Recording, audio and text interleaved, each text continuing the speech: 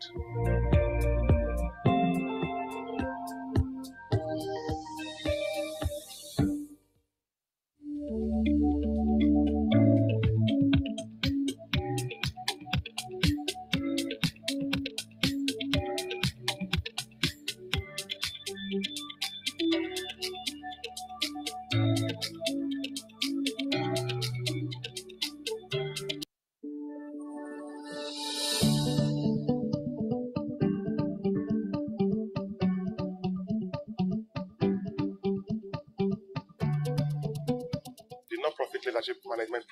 been running for over four years, and within this period, we've trained over 300 participants that have gained knowledge in areas of strategy, corporate governance, marketing, customer service, and different aspects as well to make them to be better leaders, better responsible citizens, to continue to bring about positive impacts across Nigeria and across Africa. The project really is designed to build capacity of young people who are running non-profits or working in non-profit and development sector.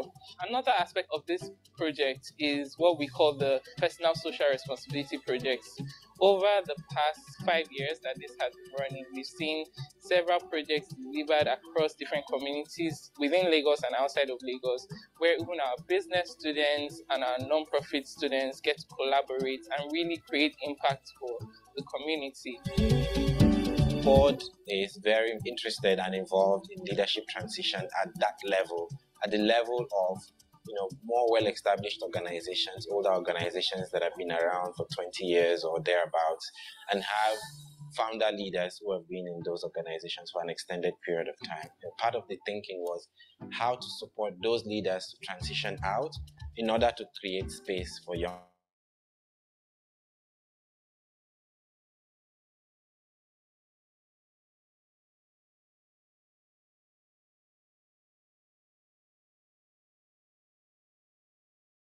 Hello, distinguished ladies and gentlemen. I bring you all special greetings from the Lagos Business School Sustainability Center. My name is Canon Otto, a sustainability and environment consultant, and I'll be moderating the conference today. For the interest of those that don't know, because I trust we all know, the Lagos Business School Sustainability Center is the umbrella body the host of the International Sustainability Conference. And this happens to be our eighth edition, the 2022 edition, with team building resilient systems for sustainable development. What a powerful team. It is the annual Dialogue to Action Forum. Dialogue to Action Forum. Just like um, our very own head of sustainability, Oreva would say, the conference focuses on real-time change drivers, real-time change makers, action takers, social reformers, and not just those that hope and wish that change should be should be done, change should be made. It focuses on those that are really walking with folded sleeves and bended knees. And so on that note, I want to welcome you all, the real-time change makers and social reformers the panelists, the speakers, the discussants, the moderators, the best practice case presenters, the management team, the organizing team, and our most welcome, amiable audience. You're all nicely welcome to the 2022 edition of the International Sustainability Conference. This conference brings together stakeholders to advance sustainable development through business.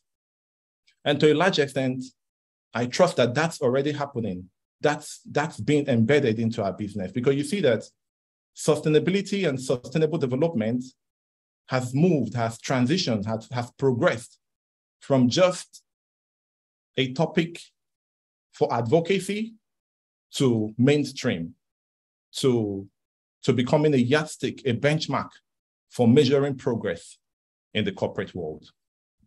So sit tight, stay tuned, get your notepads, your note tabs, your jotters and pen, because this really promises to be insightful and most importantly, educating. So to welcome us all nicely from the management, permit me to make welcome our very own head of sustainability in the Lagos Business School Sustain Sustainability Center. Oreva Atanya. Over to you, ma'am. Thank you very much, Canon. Uh, and good, good day, everyone. I trust you can hear me loud and clear. I see all the introductions in the chats. Um, welcome, welcome, welcome from wherever you're joining us from. I'm just logging in and welcoming you on behalf of the Dean of Lagos Business School, Professor Chris Ogbechie. Uh, today, we're basically spending some time learning about this thing called sustainable development and how we can drive it through business, especially in Nigeria and Africa. But it's called the International Sustainability Conference because we want to tie what's going on in our context also to what's happening globally. I'm not going to take too much of our time. I would like to now pass the baton to the person who will properly open our conversation today, Professor Enase Okonedo, our immediate past Dean of LBS and Vice Chancellor of uh, Pan Atlantic University. She's also a main leader in this conversation and action, serving on the board of the United Nations Principles for Responsible Management Education. Over to you, Prof. Um, thank you very much, Oreva. Um, good morning, everyone, and welcome once again to the LBS International Sustainability Conference. I am really delighted to open the discussion today, um, and I would like to begin by sharing our motivations and expectations with you all. Each year, this conference brings together thought and action leaders from various sectors and geographical locations to highlight and explore how businesses can advance sustainable development. Indeed, this annual conference has grown in leaps and bounds since it was first initiated. And I am delighted that today we have over 400 persons that are joining us from 34 different countries. This year, our discourse is on the theme, Building Resilient Systems for Sustainable Development.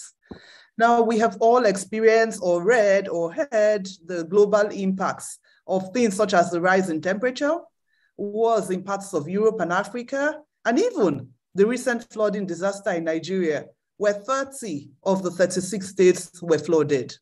We all have seen the negative impact on the livelihood, economies, governments, businesses, but more importantly, people.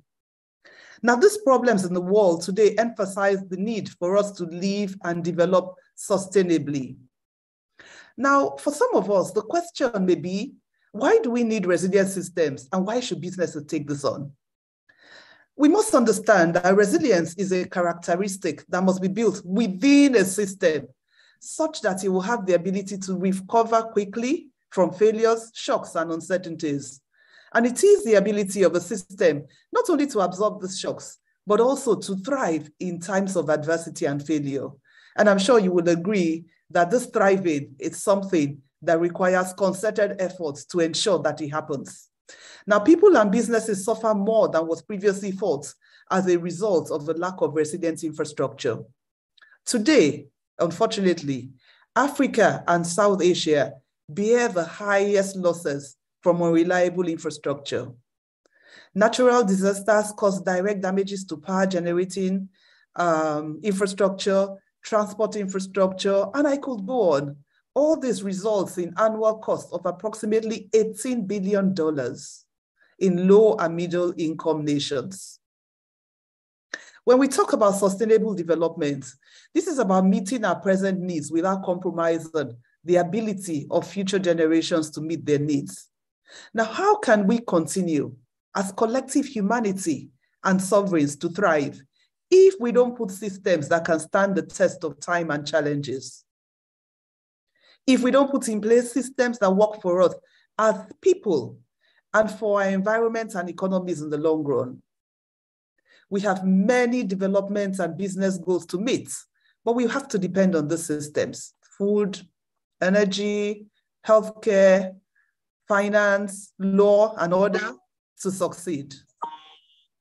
The private sector is also able to innovate and move more quickly than governments. And therefore, we call on the support of all of us attending this conference. Today, our focus will be on systems that work for food and energy security. Tackling the effects of consumer good price increases, disruptions in food and energy supply chains, flooding, droughts, financial market instability, I could go on. All of this require fresh and imaginative solutions. The private sector has always contributed to societal transformation by innovating to make social solutions affordable, bankable, and accessible. Yes, private enterprises make a profit while doing this, and they should, but not at the expense of the common good. So let's explore how this can be done again, as we have seen in the area of tech, hygiene, perhaps education access. How can businesses support the building of resilient food and energy systems, especially in a way that protects the most vulnerable in society and makes business sense in the long run? These are a lot of things that we have to debate, ruminate, engage, think with a view to taking action. So ladies and gentlemen, over the next few hours, I encourage you to stay locked on, share your thoughts and ideas in the chat box. I'm happy that a number of people are already commenting in the chat box and ask a lot of questions via the Q&A section. Also, have a pen and a notebook close by to take some notes and document your learnings. I would like to say a big thank you to the conveners, the partners, the speakers, participating organizations and individuals, but more especially to the Lagos Business School Sustainability Center team, who have worked tirelessly to put this together and have remained consistent in holding this annual International Sustainability Conference. The 2022 International Sustainability Conference is officially open, and I wish you all a wonderful learning experience and fruitful deliberations. Thank you very much. Thank you very much, Professor Enase Okonedo, a leader to many, a mentor to many, and role model to us all in Lagos Business School. Thank you very much, and a warm round of applause to her. You can you. you. can use the the clap emoji in the chat column. Thank you very Thank much. you. Thank you. Moving on quickly, we will invite our guest speaker who would be sharing a very important story with us. He has tagged it the Airtel story. None other than Simon O'Hara. With a warm round of applause, let's make him welcome. Over to you, Simon O'Hara. Thank you very much. Let me just pull up my presentation.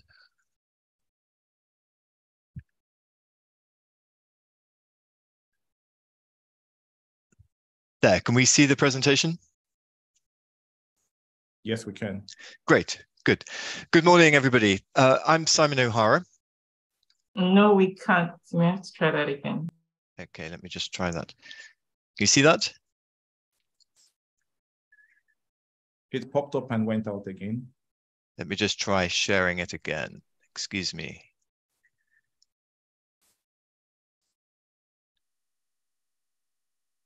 There, can we see it? Now. Can we see it now? Yes, it is. And you can see me and hear me? Great.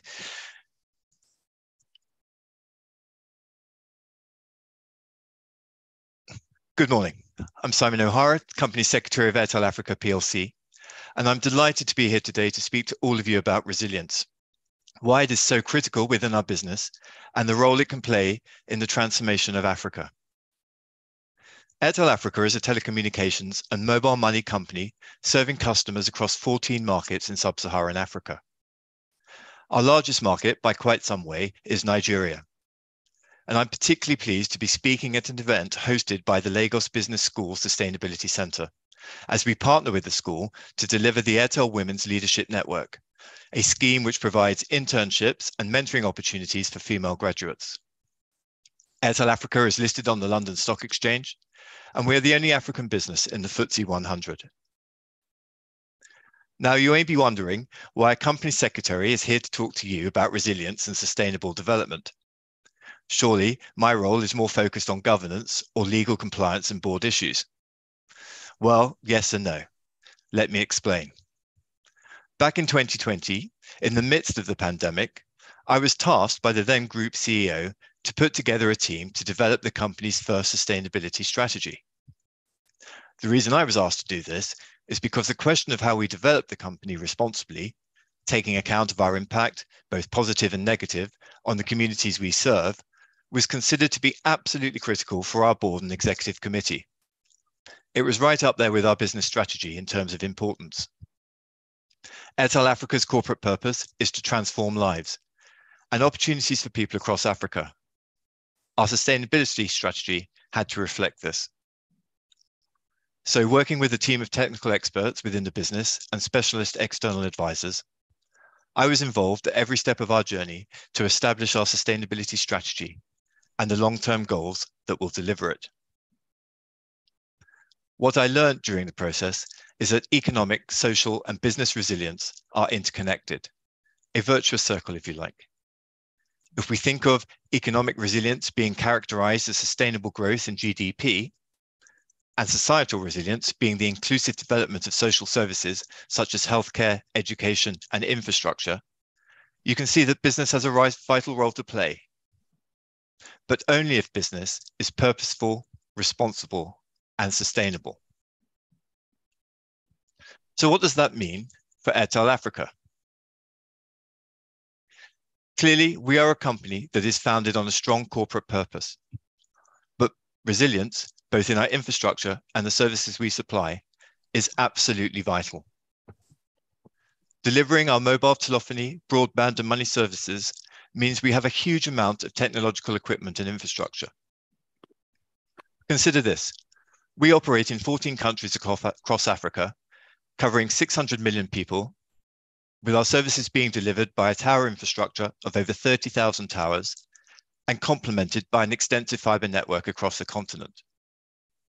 We currently have over 68,000 kilometers of fiber, which, to put it into context, is more than one and a half times the circumference of our planet.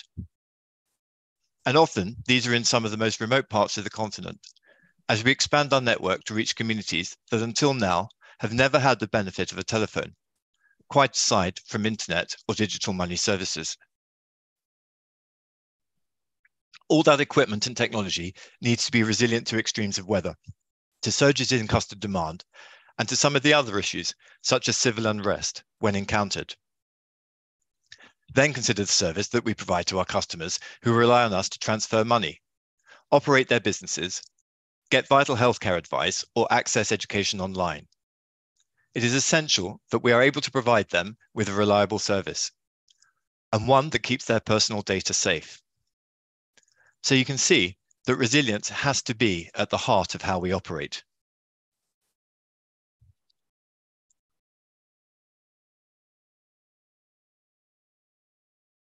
Sorry, let me just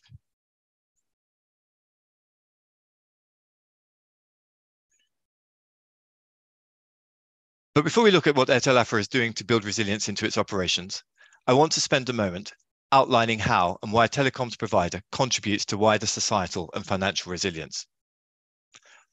One of the key features that spans both our corporate and our sustainability strategy is that of network expansion. Clearly, if the business is to grow, we need to provide existing customers with more services, and we need to acquire more customers. That means taking our network into areas that we have never had access to, uh, that, that have never had access to digital services before. Rural and semi-rural communities in parts of Africa where there is little to no real infrastructure available. And what that means is increased digital inclusion in Africa. The World Economic Forum estimates that regardless of considerable progress in recent years, in 2022, a third of the world's population some 2.9 billion people still don't have access to digital service, services. And that is despite the fact that 95% of the world's population resides within range of a mobile broadband network. Connectivity is now an essential conduit for information, communication, education, and societal well-being. People who lack the opportunity to engage with the digital economy face an ever worsening cycle of disenfranchisement. So by expanding our network, we are able to increase digital inclusion, which is why this is one of our long-term sustainability goals. This goal relies on, on us increasing rural penetration, launching affordable products that reflect customer requirements, and developing convenient payment solutions and credit facilities allowing customers to access digital services as and when they need them. Increasing digital inclusion underpins all of our other goals, be they related to our financial growth as a company or our sustainability performance. It allows us to provide free digital learning resources to children who do not have the benefit of quality education. It allows us to access vital healthcare services for themselves. It allows women to access vital healthcare services for themselves and their children. And it allows people to trade. It enfranchises people across Africa, reduces inequality, and contributes to more resilient societies. But it also helps support economic growth and resilience.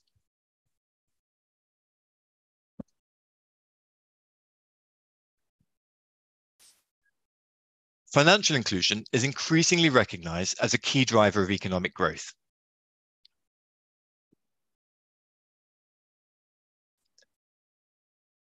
And poverty alleviation over the world. To achieve sustainable and inclusive economic growth, access to finance is essential for a fair distribution of economic opportunities, poverty reduction, and financial stability. Having access to a transaction account is a first step towards broader financial inclusion as this allows people to store money and receive payments. Financial inclusion of women is particularly important for gender equality and women's economic empowerment. With greater control over their financial lives, women can help themselves and their families to come out of poverty. They can establish businesses, eliminate their exploitation from the internal informal sector, and increase their ability to fully engage in measurable and productive economic activities. According to the World Bank, however, the gender gap in account ownership remains stuck at 9% in developing countries, hindering women from being able to effectively control their financial lives. Countries with high mobile money account ownership have less gender inequality. It is no wonder, therefore, that seven of the 17 UN SDGs recognize financial inclusion as a key enabler for achieving sustainable development. So, once we have rolled out our network to new regions in our markets, we then work hard to ensure people are aware of our Airtel Money services and how they can benefit from using them. Again, this is one of our long-term sustainability goals, and our programs are built around three key focus areas. First, affordability. Making sure we have products and services that are tailored to the needs and income levels of the unbanked and underbanked. Transaction accounts, savings and foreign exchange remittances, as well as affordable lending programs. Next, accessibility. Making sure that our products are easy to use and available to those communities who need them most. And finally, awareness empowering consumers with the knowledge, tools, and confidence they need to use Airtel Money in a responsible way. We know that the economic activity of women is critical to driving financial resilience of a family, a community, and a country. And in many parts of the developing world, women's work has not expanded beyond the subsistence level. Digital and financial inclusion turns that on its head and provides women with the opportunity to develop businesses, to trade, and to lift their families out of poverty. It is a key driver towards gender equality.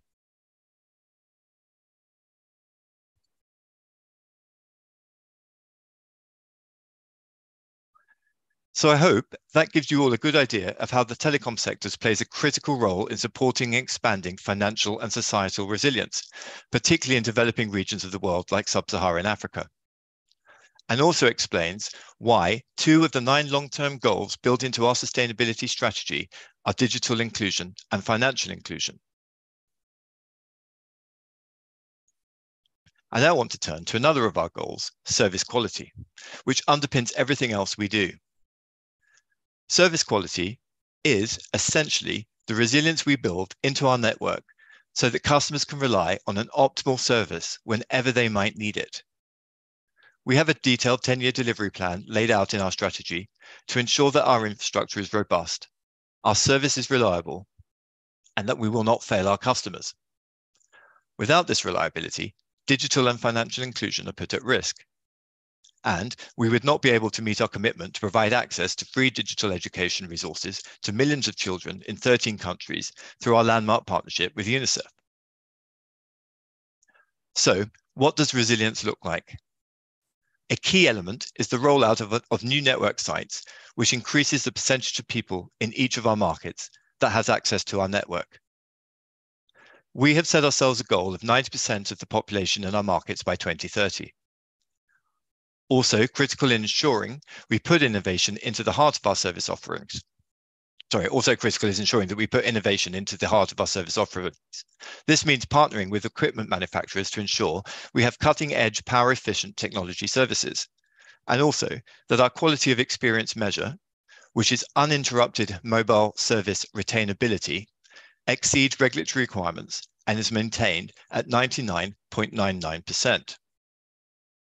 Finally, it means developing an infrastructure that delivers reliable connectivity. We do this by extending fiber to our network sites and data centers, enhancing the international connectivity bandwidth, and having a truly robust disaster recovery plan in place for all our network infrastructure. These are 10-year programs, but we are already making strong progress, and we outlined in our first ever sustainability report published just three weeks ago and available on our website. While all of this sounds very technical, and to be fair, it is, I think it is obvious why this is so important. People's lives, livelihoods, and futures need reliable access to digital services. We cannot fail. And to provide you with the next example of how business resilience, in our case, the resilience of our network, can have an immediate and dramatic impact on financial and social resilience of a country, I thought I'd end with a brief example of a situation we faced in Madagascar earlier this year.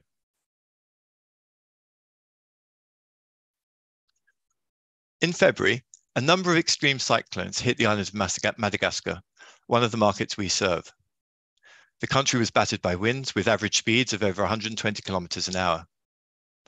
Aside from the devastation that brought, that brought to homes and wildlife, the incredible winds also brought down one of our towers, which collapsed. This in turn impacted the radio network and as a result, the availability of our services, services in the southeast of the country. In addition, breaks in our fiber cabling across southern Madagascar caused partial disruption of all international data traffic for several days. Quite aside from the disruption to our services, people all over the region were stranded with no way of contacting their family, friends, or emergency services for help. It was, by everyone's estimation, a terrible situation brought on by a natural disaster. Because we had built resilience into our operations, we were able to respond very quickly. We immediately activated a secondary route into the impacted area to recover terrestrial microwave transmissions. We then worked with our peers to lease their line capacity in an effort to increase overall capacity into the disaster zone and to ensure the continuity of our service through traffic rerouting. To relieve some of the immense pressure on our technicians who were on the ground and dealing with the situation in real time, we sent out teams of engineers to the area and their support was crucial. Actually, getting to the site was a major challenge, as the area was only accessible by road, and the journey would have taken at least 16 hours. As you will all appreciate, speed is of the essence in a disaster, and 16 hours was too long. So we partnered with Madagascar's Rescue Authority, who are running a helicopter service for people and aid in and out of the area. They provided passage for our support engineers.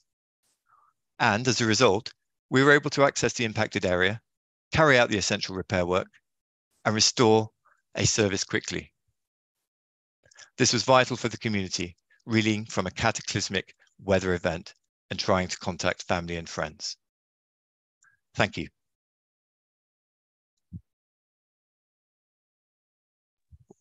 Thank you very much. Thank you very much, Simon O'Hara, for that interesting story. I trust that's the that's the Airtel story we were anticipating. You made us understand your your company's robust disaster management plan from being proactive to being re reactive, and you you gave us a, a, a real-time instance with the situation in Madagascar. Thank you very much. And a round of applause for Simon O'Hara. You can use um, the clap emoji in the chat column. Moving on, and to reminisce on that interesting story, we will delve straight into the keynote address from the Chief Operating Officer of World Business Council for Sustainable Development, Geneva, Switzerland. And he will be speaking on building resilient systems in a VUCA environment. Building resilient systems in a VUCA environment. That sounds really interesting. And to do justice to that is none other than Rodney Irwin. Make him feel welcome with a warm round of applause. Over to you, Rodney Irwin. Good afternoon, good morning, wherever you are in the world. I'm very honored to be here this morning and greetings from Geneva, Switzerland. Um, as already indicated, I'm Rodney Irwin. I'm uh, in my day job, the Chief Operating Officer of the World Business Council for Sustainable Development, or WBCSD for short. But I'm also a Professor of Accounting and Sustainability at Leuphana University in Germany and a faculty member at the Yale School of Management, where I teach sustainability systems to the executive MBA program. So, yes, you're quite right. Um, building resilience uh, systems in a VUCA environment is indeed an interesting topic, but it's not a new one. And at WBCSD, we have been talking about this for quite some time. Now, I'm conscious that many of you may not be aware of who WBCSD is, and I'm, of course, expecting you all to be able to say WBCSD by the end of this. Uh, I know it's a bit of a mouthful, but we've been around for 26 years, and we are a membership based organization bringing together many of the world's leading organizations to address the three big imperatives that I'll be talking about shortly.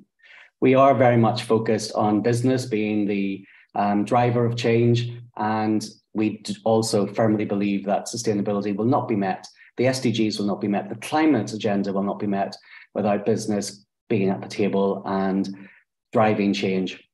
We are a CEO led organization and um, we are very much in, in the space of making more sustainable businesses more competitive and therefore more successful.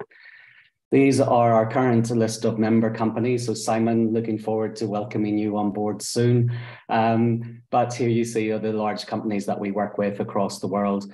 Um, these are all companies that are committed to the development agenda and who have signed up to WBCSD's quite ambitious membership criteria of net zero um, by 2050, nature positive by 2050, um, embracing human rights, and the highest level of transparency. Now, we started the talk about the, the VUCA environment way back over 10 years ago, and WBCSD member companies back then got together to actually start to say, hold on a minute, we need to start mapping out how we get to a more sustainable world. And the project that started in, 20, in 2008 um, asked some fundamental questions. What does sustainability look like? How can we actually realize it? and what are the roles that business can play in getting there. And this resulted uh, um, with all of the companies whose logos you see on the, uh, on, the, on the slide coming together and creating what was called Vision 2050. Now, Vision 2050 proposed nine economic pathway developments that would create a shared vision by 2050. And that vision was nine plus billion people living well within the boundaries of the planet and very much set out a new agenda for business. And as you can see, it set out, as business knows best, plans to get from where we are today to where we need to be in the future and set out along those pathways key activities that needed to be achieved. Roll forward to 2020, some 10 years after this original publication was made. While significant progress had been made, it wasn't going fast enough and it wasn't going um, at scale. So there was a need to rethink, to refresh. And so in 2019, WBCSD decided to revisit this agenda, this time to look at it more from a systemic um, transformational perspective, to understand if 10 years after the vision was initially launched, if we still need a common narrative, and if so, what could that narrative be? not to create something that a company just picks up and says, well, if I do this, I'm sustainable, but to start companies engaging with this agenda and using the vision inputs as key strategic inputs, as well as creating a narrative that could create positive and inspiring um, momentum for companies to embrace. So roll forward to 2021, and in March 2021, all of these company CEOs put their signature to the Vision 2050 refresh, a time to transform. And this is what I'm going to really focus on today, because this is WBC, WBCSD's answer to business resilience and the creation of resilient systems within a VUCA world. So time for a shared vision. The vision that we set out in 2010 is considered to be still valid. We are still coalescing around this, this vision of nine plus billion people living well within the planetary boundaries. What we've done this time, though, is really bore into what we mean by living well and what we mean by the planetary boundaries. By living well, these business leaders have said that everyone's dignity and rights are respected, basic needs are met, and equal opportunities are available to all. So it doesn't mean that everybody has a middle class lifestyle with everything that they can get and consume, consume, consume. This is about creating equality and about a focus on the gross inequalities that we see in the world today. It's about ensuring that we have access to education, to healthcare, to security, to safety, to energy, and that we can do so in the most sustainable way.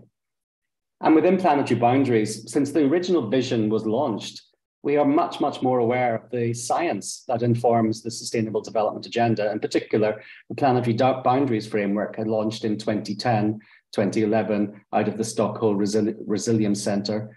And we know that in 2020, those nine planetary boundaries are actually accelerating in the wrong way. We are seeing that our use of fossil fuels, that our consumption of food and the impacts that that has on fertilizers such as phosphorus and nitrogen going into the soils, land degradation, et cetera, et cetera, et cetera, is actually accelerating beyond what was initially considered safe. And we're now seeing that five of the planetary boundaries are being exceeded.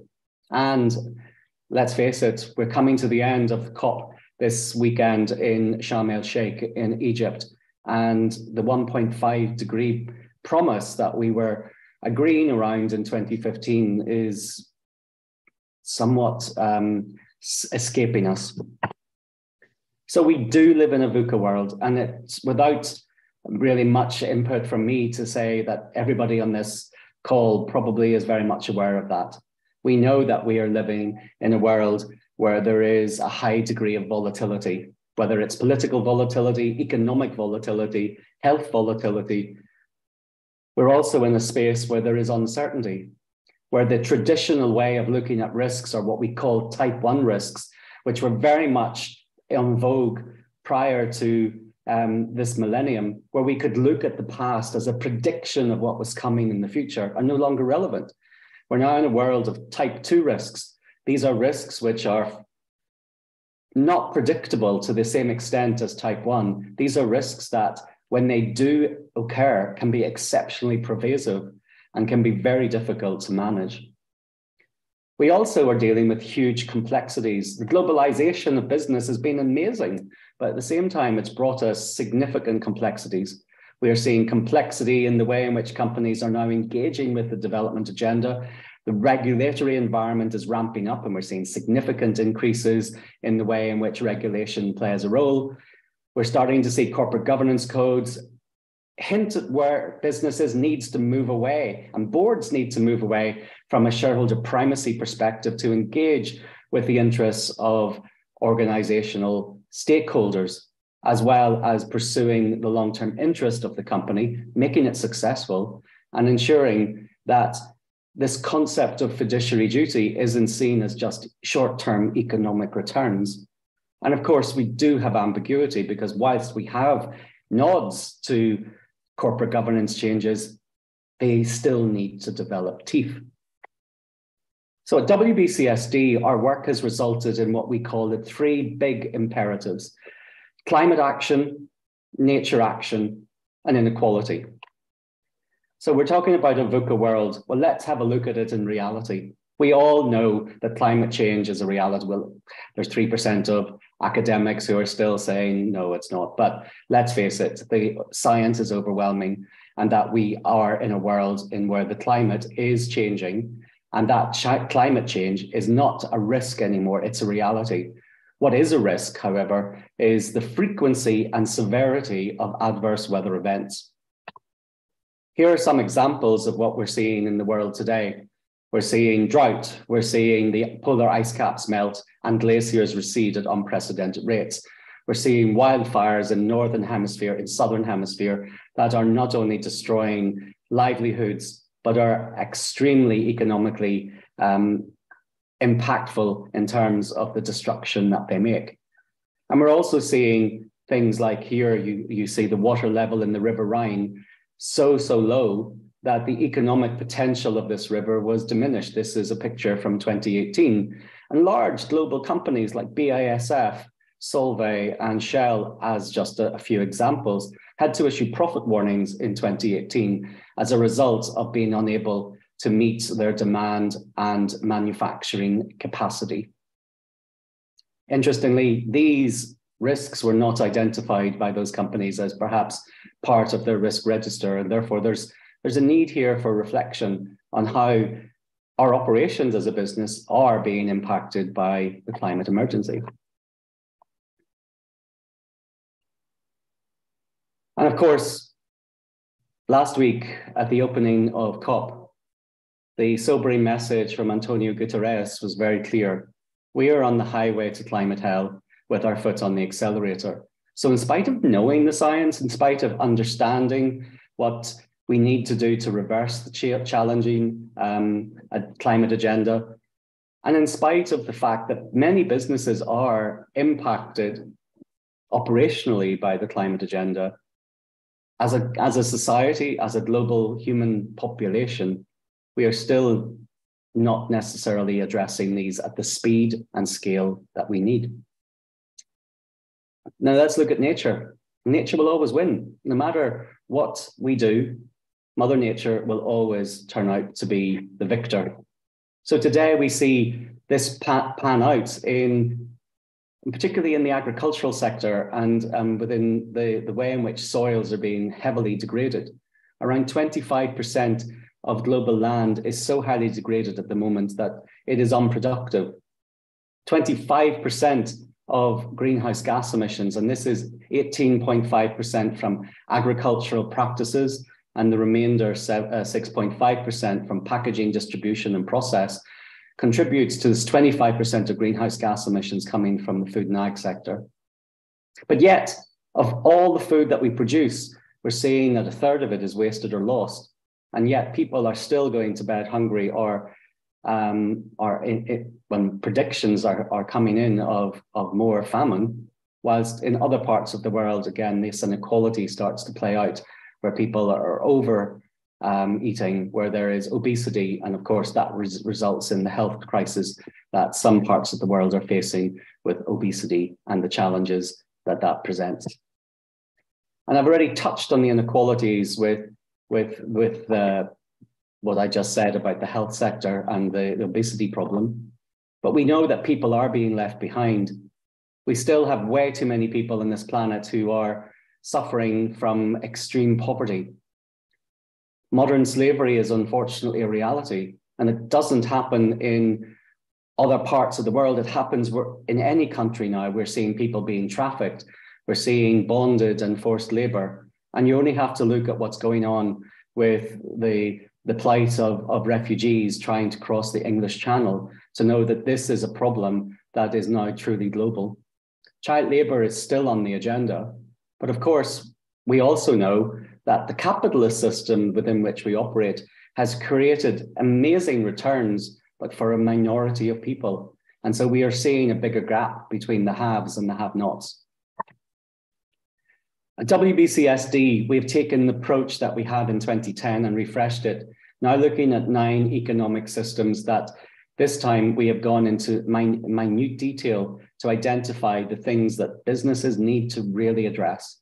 These are now focused across the systems that you see on the screen from the energy system, transportation and mobility, living spaces, and all things to do with the way in which we coalesce around cities or also uh, a rural lifestyle.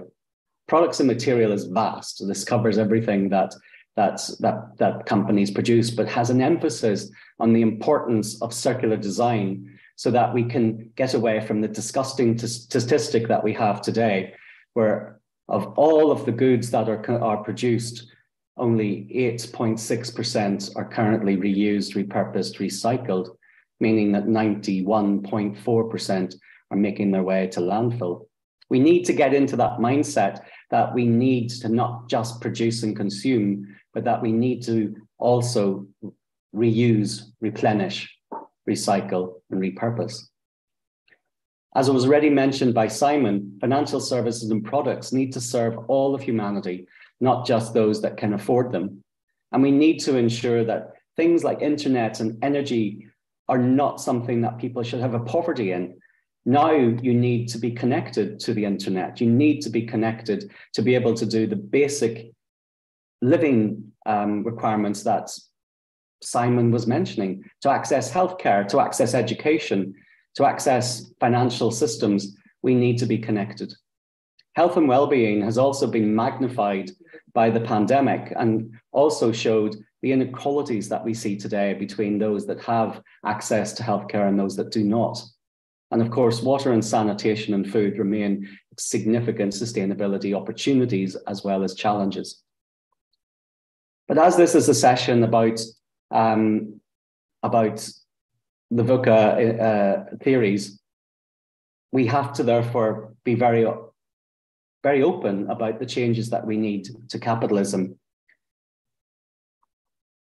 Even with the pandemic, unprecedented wildfires across the northern and southern hemisphere, as well as, let's just face it, the recent US election, the debate about the future of capitalism has been playing out in the mainstream media alongside questions such as the conduct and responsibilities of companies in response to social issues and global issues such as inequality, climate change, and even public health.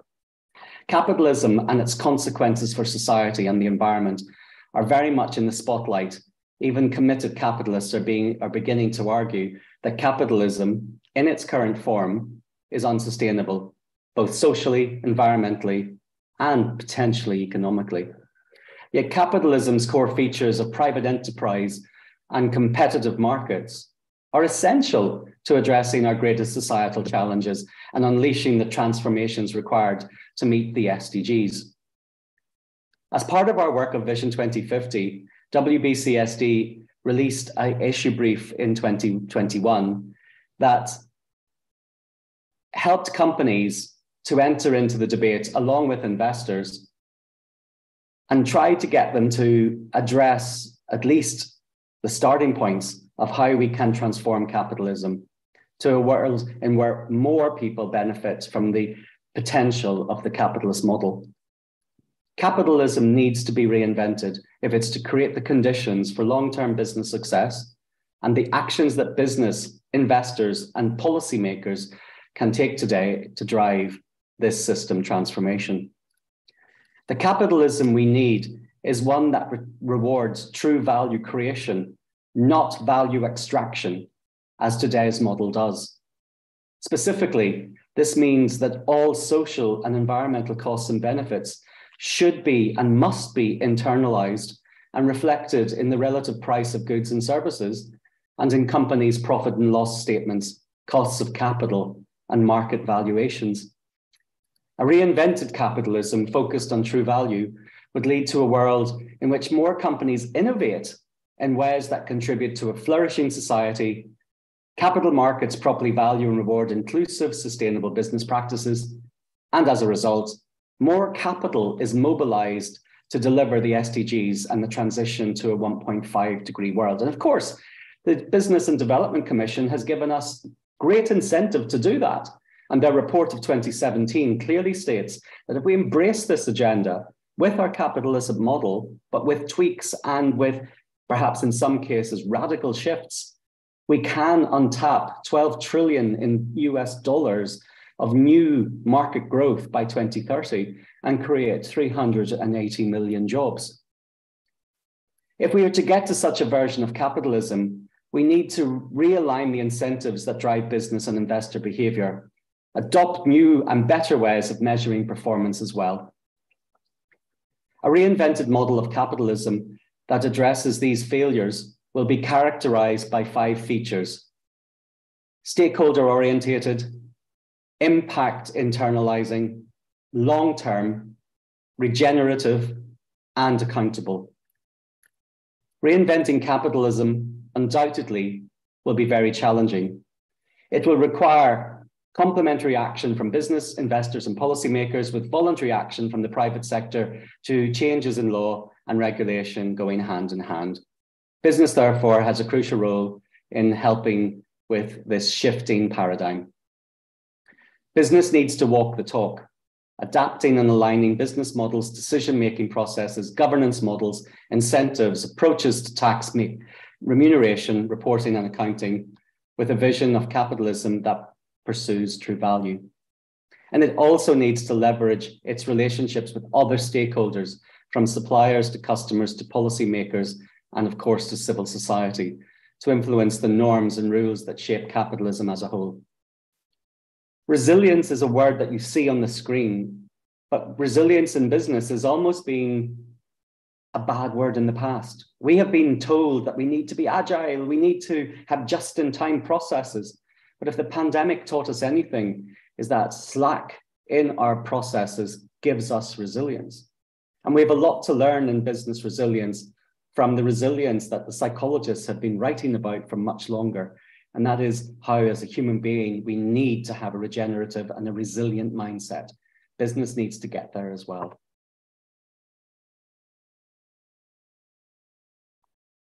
Systems transformation also need to take a, a whole revisiting of what it means to transform. Transformation means root cause change that delivers fundamentally new outcomes. We can't just tinker around and tweak what we like. We have to really think about do we need to just rip this up and start again, or do we really need to develop the courage as leaders to address this challenge. Whilst business cannot do it alone, it can contribute to and relentlessly shape the changes that we need in its own actions and in the interactions with other stakeholders. And we need to acknowledge the barriers that we have come to accept as the challenges for the future. We need to challenge our norms and values. We need to embrace policy and regulation. We need to improve transparency. We need to address financial flows as well as technology. And of course, we need business schools like the Lagos Business Schools to produce leaders that are not just educated in how to provide data, but also how to be human when it comes to the leadership that they need to deliver. We need to ensure that leaders coalesce around a shared vision that they have mindset shifts focusing on resilience, reinvention, and regeneration, and that they are system thinkers. Recently, the Inner Development Goals have also been launched on the 29th of April this year. This sets out new competencies and skills and qualities that the leaders of tomorrow need to embrace. These are norms now around things like humility, empathy, resilience, understanding of where of one's bias and one's flaws in decision making. And I would encourage you to ensure that your students are also being taught how to lead from the heart as well as from the head. So, in conclusion, ladies and gentlemen, it is time for transformation and it's time for this to happen at scale. Um, and I therefore encourage the Lagos Business School to embrace the development agenda like you're doing and make sure that your students are educated, as I said, with the heart as well as with the head. Thank you very much. Thank you. Thank you very much for that really detailed speech. Thank you so much. I love how you dissected building resilient systems in a vol volatile, uncertain, complex, and ambiguous environment. And you touched on our two major sub-themes which is resilient food system and resilient energy system. And you broke it down to the nitty gritty. Thank you. Thank you very much. But you said something that, that really, really frightened me. And I'm sure it also sent chills down the spines of everyone that listened to you. You say climate change is not a risk anymore. It's now our reality. And to buttress that, you highlighted words of the United Nations Secretary General, Antonio Guterres, who said we are, we, are, we are on a highway to climate hell. And we have our foot on the accelerator. And that's a new word to me. That's a new word to us. We know it's been climate change all along and a transition to climate emergency and climate crisis. But now, climate hell. I'm very sure that's going to trigger everyone to change their ways. Thank you very much. Thank you very much. And to water that down. And again, thank you for the opportunity to be here. And of course, I don't want to leave people feeling depressed or downhearted. This is meant to be an incentive to take action. Um, we need to take action. And I believe that the collective power of the students and the professors and the academic body at Lagos is making significant contribution to this. So take this as inspiration and not as depression. And indeed, it is an inspiration. Thank you very much once again. To water that down, we would watch a video that addresses resilient systems in the face of climate and social change.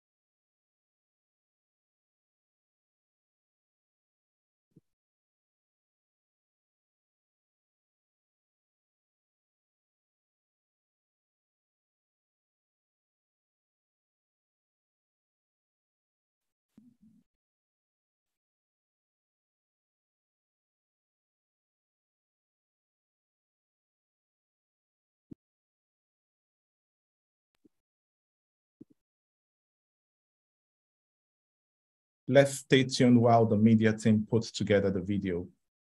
And that will be in a bit. Thank you.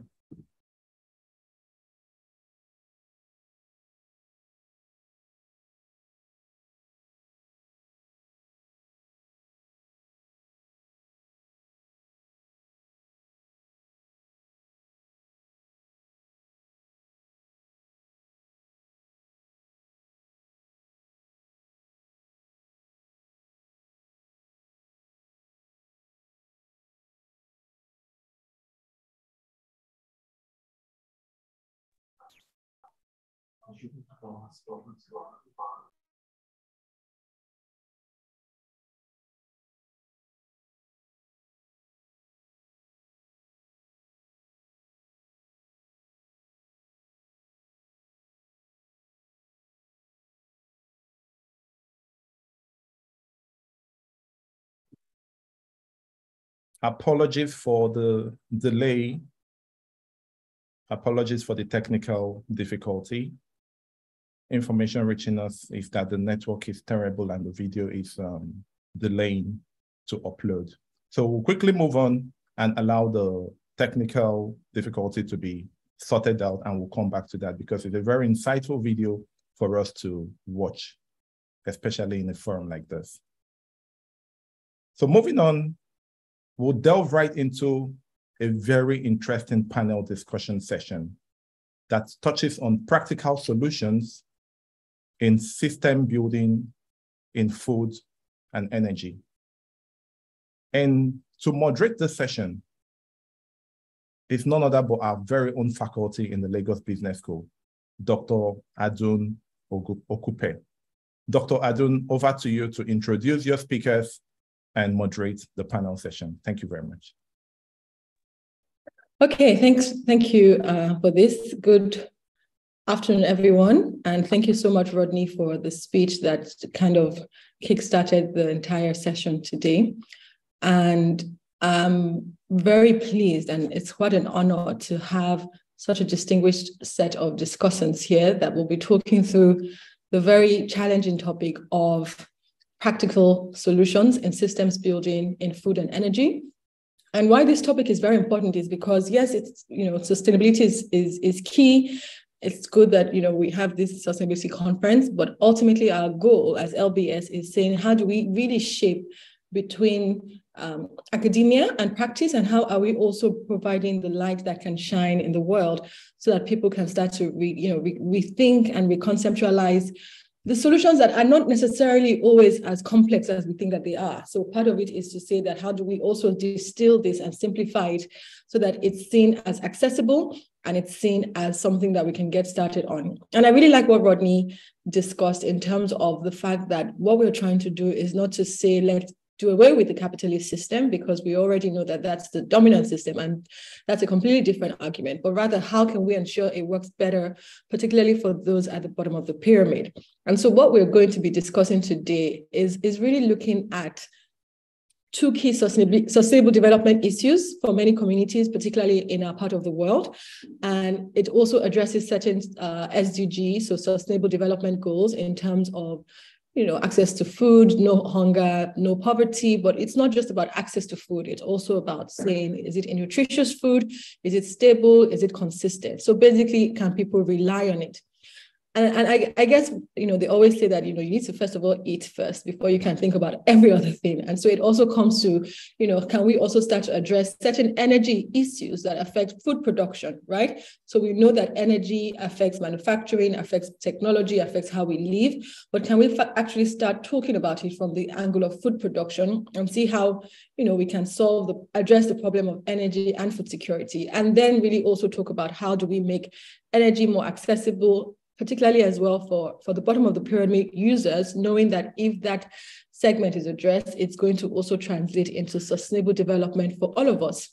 And it's important because you know, people need to feel that they are safe and secure. They need to feel like they are, you know, they, they don't need to worry about their basic needs. And if we don't, if we have more people worried about their basic needs, it also means that there are going to be more risks of instability, there's going to be more risk of crisis. There's also going to be more risk of discontent. And we don't want that to happen.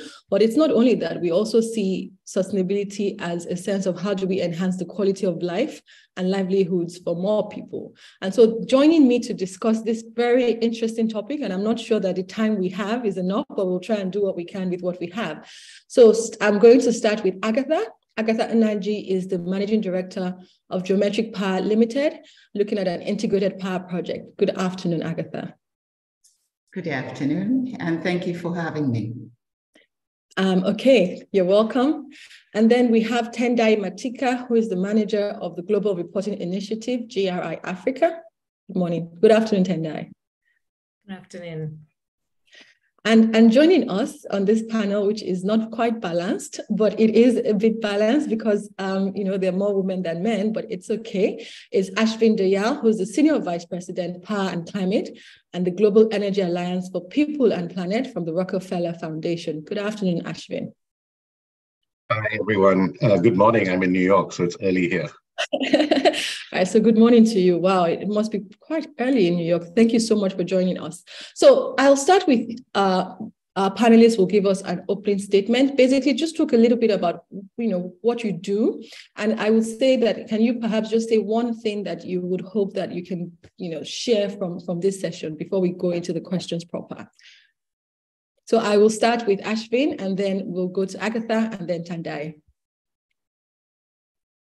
Great. Well, thank you. And, and, and thank you very much for having me. It's a pleasure to be with you um, and, and with everyone who's on the on, on this call, on the conference. Um, so look, I, I, I, would just start by saying a couple of things. Firstly, you know, for, I, I, work in the field of energy and particularly look at, at energy poverty and, and access to energy and how we increase energy. And I think we're at a really interesting time in the world where consuming energy is increasingly pivotal uh, on in the ability of sort of poor households and communities to lift themselves out of poverty. I mean, this is true with every passing day.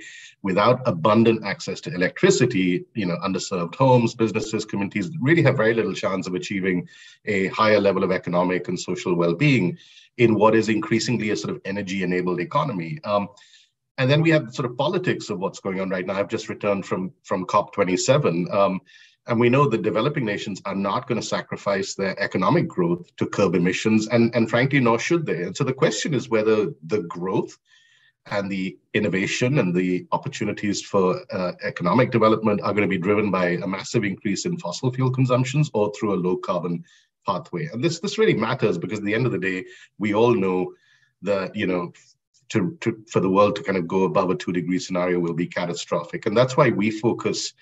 Um, and launched something called the Global Energy Alliance for People and Planet last year, which is a major philanthropic effort uh, really centered around trying to unlock and unleash business models and innovations around distributed renewable electrification, the sort of newer solutions that can reach underserved communities. And there are about three and a half billion energy poor people. I'm not just talking about people who are not connected to the grid, but people who don't get reliable electricity, people who either can't get affordable electricity and therefore their lives and livelihoods are constrained. Um, but we also look at, you know, how do you deploy and expand grid tied renewables and even looking at in, you know, how do you decommission uh, larger scale fossil fuel assets? And I think you know, rather than see this as a problem, there's also a huge opportunity, a business and an innovation opportunity. Think about, rather than thinking about it as an energy transition, let's think about it as an economic transition. Um, you know, we, we use these phrases like green jobs and green economies. So what does that really mean in terms of localizing supply chains, creating manufacturing opportunities in what we think is going to be a massive wave uh, in the deployment of renewables? Thinking about the ag energy nexus, there is so much innovation around the way in which energy needs to be made available in a much more localized manner to drive you know food processing on-site processing irrigation cold storage local transportation etc and all of the jobs and enterprises that can be created around that. And a lot of that is what we focus on. So it's a real pleasure to be part of this um, part of this discussion today. Thank you for having me.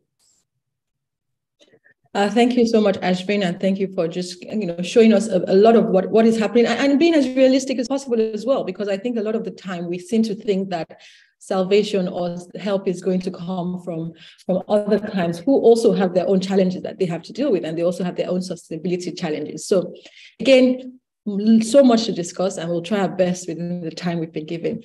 Uh, Tendai, over to you. Thank you, uh, Dr. Dun, and good day to everyone. Really delighted to be joining the conference today. So um, allow me to start off by sharing briefly about the Global Reporting Initiative, the GRI, and the work that we do, just for the benefit of those joining who do not know about the organization. Um, the GRI um, has been around for a number of years, uh, 25 years this year, and we are an international organization that develops global sustainability reporting standards. The standards are developed through a transparent and multi-stakeholder process and with regards to intergovernmental instruments. And um, the GRI standards uh, are offered for free, so anyone can download them from our website, and they essentially support organizations of all types and sizes to be transparent about their sustainability impacts and um, to basically communicate how they are addressing those impacts uh, on the outside world and how they are contributing towards sustainable development. And um, so now to the topic of today, I believe that uh, food security and energy security are entwined to humanity's well-being, economic growth, and um, survival. We heard uh, in the news this week that the global population has hit 8 billion people. And so while the global population reaches new highs, the growth obviously poses more challenges for the planet. It poses challenges for agriculture systems, which will now be called upon to produce even more. And the challenge, um, as we all know, is, is that what seemed like a limitless supply of natural resources such as soil or fresh water only a few generations ago is becoming increasingly scarce. And um, for a continent such as Africa, where the population is, is expected to boom, the resource pressure will and adapting to climate will continue to be daunting, especially for farmers in our region. And you know they're constantly being forced to cope with droughts floods cyclones and many other disasters which is why I think conversations such as today's are important because there's really a paradox in the fact that the ways in which we produce um, the essential food and materials that a, glo- a growing global population requires um, can result in significant economic, environmental, and social impacts, uh, which basically put a risk to the future viability of global food systems. So I think um, partnerships are crucial. Uh, it's important that we have uh, strategic uh, multi-stakeholder partnerships that would be able to address the uh, food security and how we can build resilient agriculture systems and um, how we can have multiplying uh, you know collaborations that will come to the fulfillment of the sustainable development goals. I'll pause there. And okay uh, thank you, Tendai. Uh, Agatha, over to you. Basically, just a, a, an opening statement, just talking a bit about what you do, as well as you know what you hope to deliver from from this session.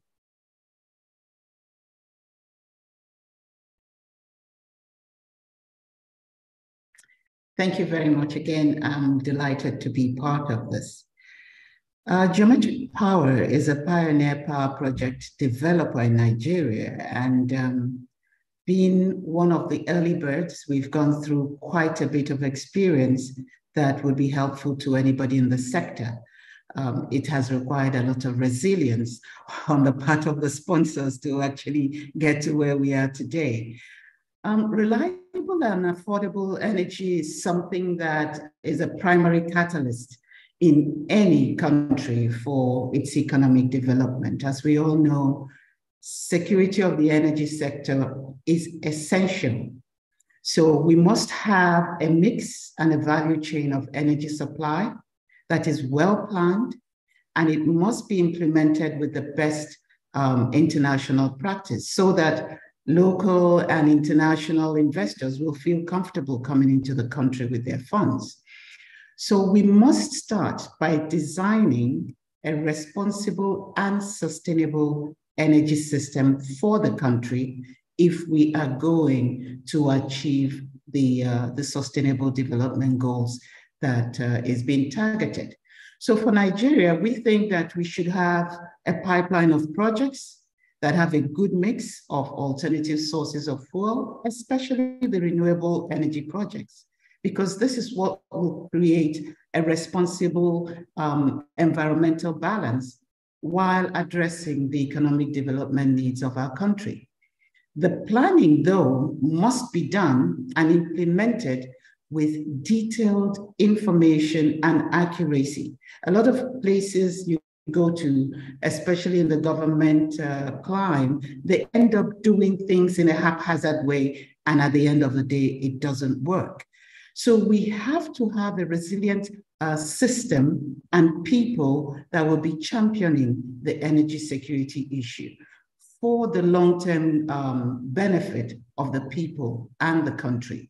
So for us at Geometric Power, we would use um, our flagship uh, project, the Aba Integrated Power Project, to illustrate what can be done um, as a way forward. Basically, we have um, an integrated project which includes an, a 188 megawatt power plant. It's a thermal power plant, and it's an embedded generation plant that supplies directly to a population of over 2 million people in a concessioned area of about 4,000 square meter, uh, kilometers. It covers half of Abia State in Nigeria and it is well designed. We have um, partnership with General Electric, to, who is the original uh, equipment manufacturer for the power plant. The design includes a dedicated gas pipeline. And by the way, it doesn't have to be gas. We must find alternative sources of fuel, including um, the new renewable power for renewable power projects. So the distribution infrastructure that we have has been designed to be very robust. So we have sturdy stainless steel overhead lines, which some people might think is an overkill. But at the end of the day, you have to make these investments to make sure that they would actually survive the test of time and become cost effective in the long run. Substations, etc., are also part of the project. Now, when we started the project, we were told that about our location only needs about 80 megawatts. But because we got into the field and conducted a consumer survey, we found out that there's a lot of suppressed demand. So from designing a 100 power plant, we ended up uh, ramping it up to 188 with um, opportunities to further ramp it up based on supply, uh, demand to about 500 megawatts. Now, for us all to make progress in this sector, we have to ensure that our projects do not depend on our governments. It's sad to say that governments in this part of the world seem to create economic crisis rather than provide support that investors need to actually make things work. So, for example, in our case, we had to um, avoid going into the process of getting uh, the typical sovereign uh, guarantee for power offtake. Rather, we requested for concession of a territory. And that means that we've had to now deal directly with the power consumers rather than the middleman agencies created by government, which become political and unreliable as time goes on. We also ensured that we have a right of first refusal in our um, concession agreement, so that by the time the policy of the government was changing, we were right there and we were able to fight, and we truly had to fight for our right to be Agatha, Okay, I, I, know we have so much to talk about, but I think we'll continue the, you know, we'll continue about your example uh, in a in a bit. What's going on now? Sorry, one right. second. Oh, okay. We'll come back to that, but but thank you for sharing the case study of what's been happening with uh, Geometric Power Project. You know, whenever I hear geometric, I always think of geometric progression, and for me, the dream is hopefully that you know the sustainable development happens in Nigeria and in Africa in in, in a manner that is quite accelerated, right? Because that's the, the need is so is so prevalent and it's so it's it, it's so tangible, and we need to do something very quickly. So thank you so much, everyone, for your opening statements and just sharing with us from you know where, where the perspective is in terms of what Ashvin has said in terms of COP27 and just also who's who's basically going to help us and what do we need to do and how do we start to look at energy. Tendai is talking from the example of GRI Africa and what they're focused on and how they also contribute to the sustainable development agenda. And Agatha sharing a case study of what they have done in terms of creating integrated power in Aba so just in terms of the format of how this session will go, if you have questions, please, you can put them in the Q&A um, box, which is underneath your, you know, the tab on, on Zoom. If you do ask it in the chat box, I, I might be able to get to it, but we will be prioritizing questions that are in the Q&A um, section. And if you really want to uh, ask a question, I think you can raise your hand. And what we will do is we'll go through initial round of questions, I'll look at the time, and then we'll come back and see how we can also ask your questions. Please make your questions as direct and succinct as possible. And if you can, also let us know who you're directing this question to, just so that we can move on from there. So Ashvin, I, I think I'll start with you. And, and this question is quite key because, you know, where we are in Nigeria and in Africa, sometimes people say, you know, why, why are we looking at climate change? There's so many issues already, you know, at the forefront. What, what, what why is why is climate change considered one of the biggest risk factors that's affecting the energy system? And I guess if you can explain that and then share with us some of your own insights on steps to mitigate against it, particularly in terms of what organizations and individuals can do. Thank you. Thank you see, I, I, wanted, I was I was really enjoying listening to Agatha's um, story of what it takes to, you know, as an IPP in, in a country like Nigeria, and I, I feel the pain. Um, uh, but you know, it's so important. Uh, if I remember my statistics correctly, at the moment, um, there is still um, something like with is it 40 or 50 gigawatts of, of power being generated with independent diesel in Nigeria, and about a quarter of that power on the grid, which which is a, an equation that really needs to change. Um, Look, I mean, in relation to climate change, it, it is a really, um, I think, a really important question about why why should we care, right? Um, and it's a tough question because, you know, we use terms like transition and resilient, um, and you know, you can't, you know, we're sort of transitioning in many cases from virtually no infrastructure um, to green infrastructure, right? Um, in the case of energy. So when we talk about an energy transition in a country that's already consuming 10, 15,000 kilowatt hours per capita annually, like in Europe, uh, that's a very different proposition than when we're talking about transitioning in the energy system in a country like Malawi that's produ- that's consuming less than 100 kilowatt hours per capita, certainly in, with only 11% electrification to start with. So what do we even mean by transition? So transition and, and an attempt to address the climate crisis has to be based on a premise of economic justice and equity um, and the expansion of opportunity. At the same time, as I said in my opening remark, I think one of the reasons to care about it in the energy system is that there's a there's a there's an enormous amount of potential there for innovation and entrepreneurship and creativity to kind of be on the frontiers of a new economy. Uh, when you think about what's happened in the renewable sector, which is what I know best, um, the the the level of innovation that we've seen, the, the the change in not just the sort of big price shifts of sort of PV and battery and all of that, but look at the different business model innovations that we've seen emerge over the last 10 years that are still really just scratching the surface. Uh, the World Bank a couple of years ago pro- projected that more than half of the unelectrified population in Africa would be better served through off grid distributed renewable electrification.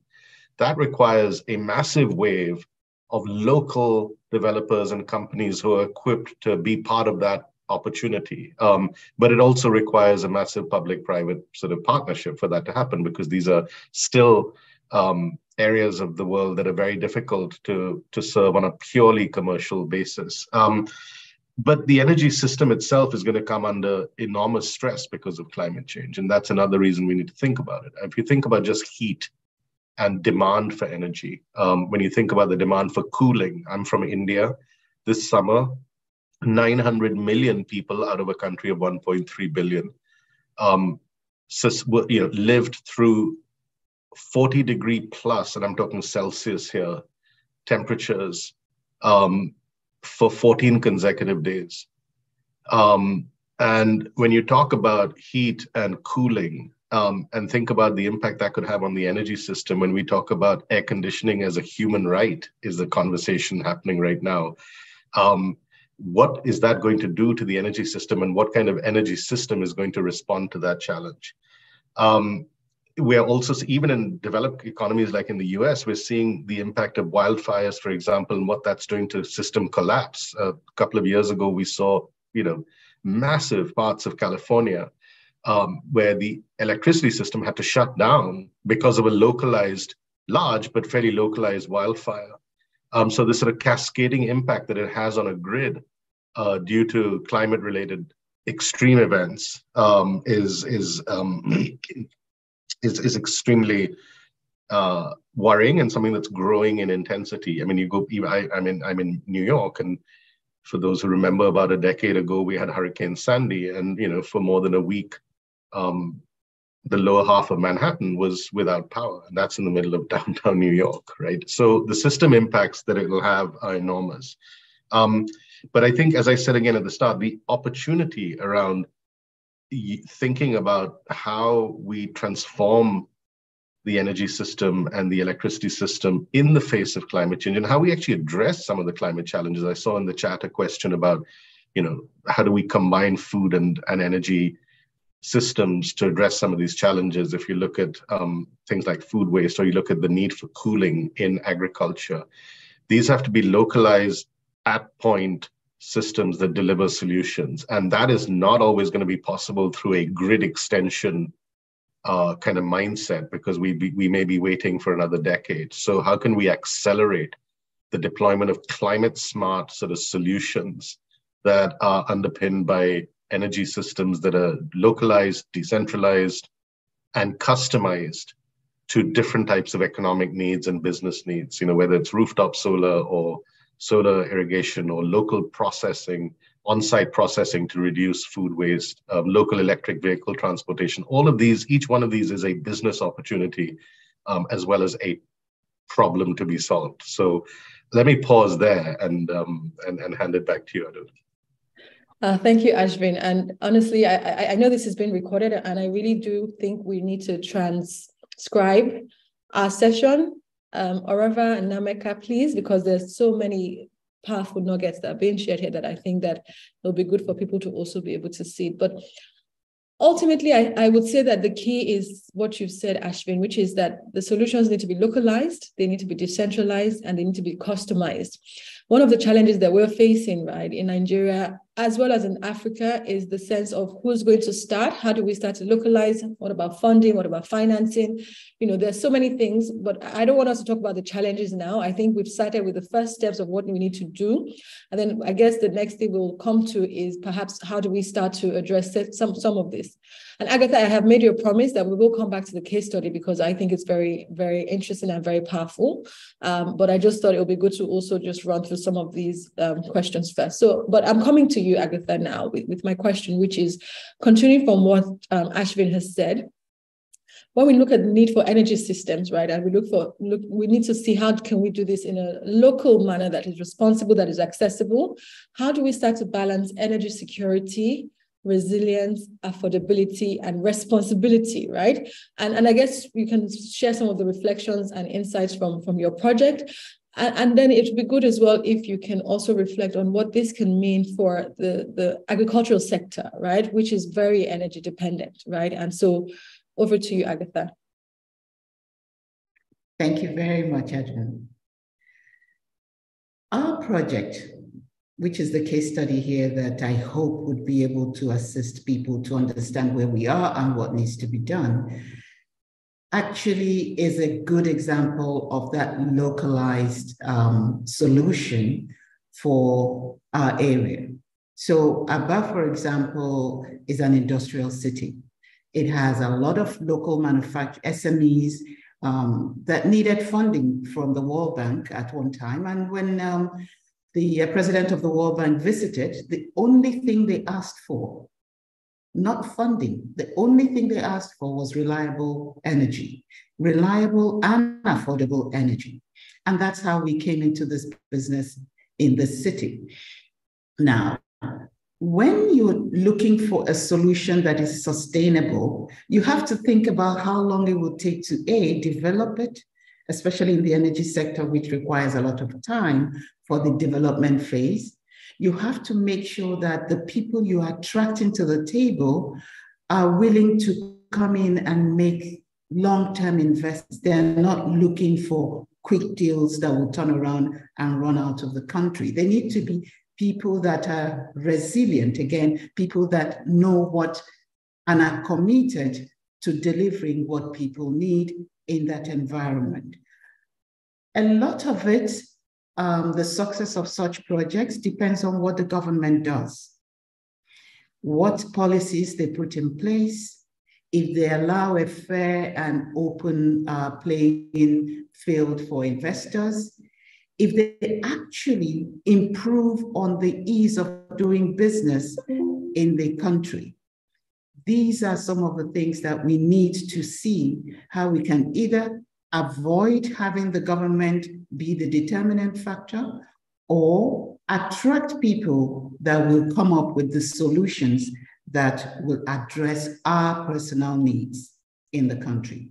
So going back to what we, um, to what uh, um, uh, Ashvin, sorry if I uh, pronounced it wrongly, what he said about decentralized solutions we now need to see if there's a policy that um, we can work with agencies like the, the uh, water, water Resources Agency to get things like the dams, mini dams, mini hydro dams that would enable the uh, agricultural sector to partner with the power sector to deliver solutions that would benefit the local populace. Now, for us in Nigeria, we have different climates. We have up north, the very dry uh, climate, and the down, down south, we have the, uh, the, temp, the, um, the forests. So I would suggest that in this panel, if there are links that we can share with each other that will be useful also to the participants, let's try and put that together so that we have a pipeline of projects that could come up that will provide a good mix of alternative sources of fuel, renewable and otherwise, and will help us as a nation to create a responsible environmental balance while addressing the economic development needs of our country. Now, I've tried to talk about a few things at the same time, so I hope it makes sense to all of you. But bottom line is, we must attract timely and ongoing investment in the power sector that would have a ripple effect on other sectors like agriculture and healthcare, especially with funding from the multinational uh, agencies and the private sector. Thank you, Agatha. And, and, and absolutely, I, I agree with you that there has been quite a lot that has been shared, but it's really also a challenge to us, right? To say that how can we start to share knowledge, right? It's important that we also see that, you know, you know certain things, actually know certain things. Just even on this panel, we all have different connections and networks that can contribute to saying how do we start to aggregate knowledge? How do we start to pull from that?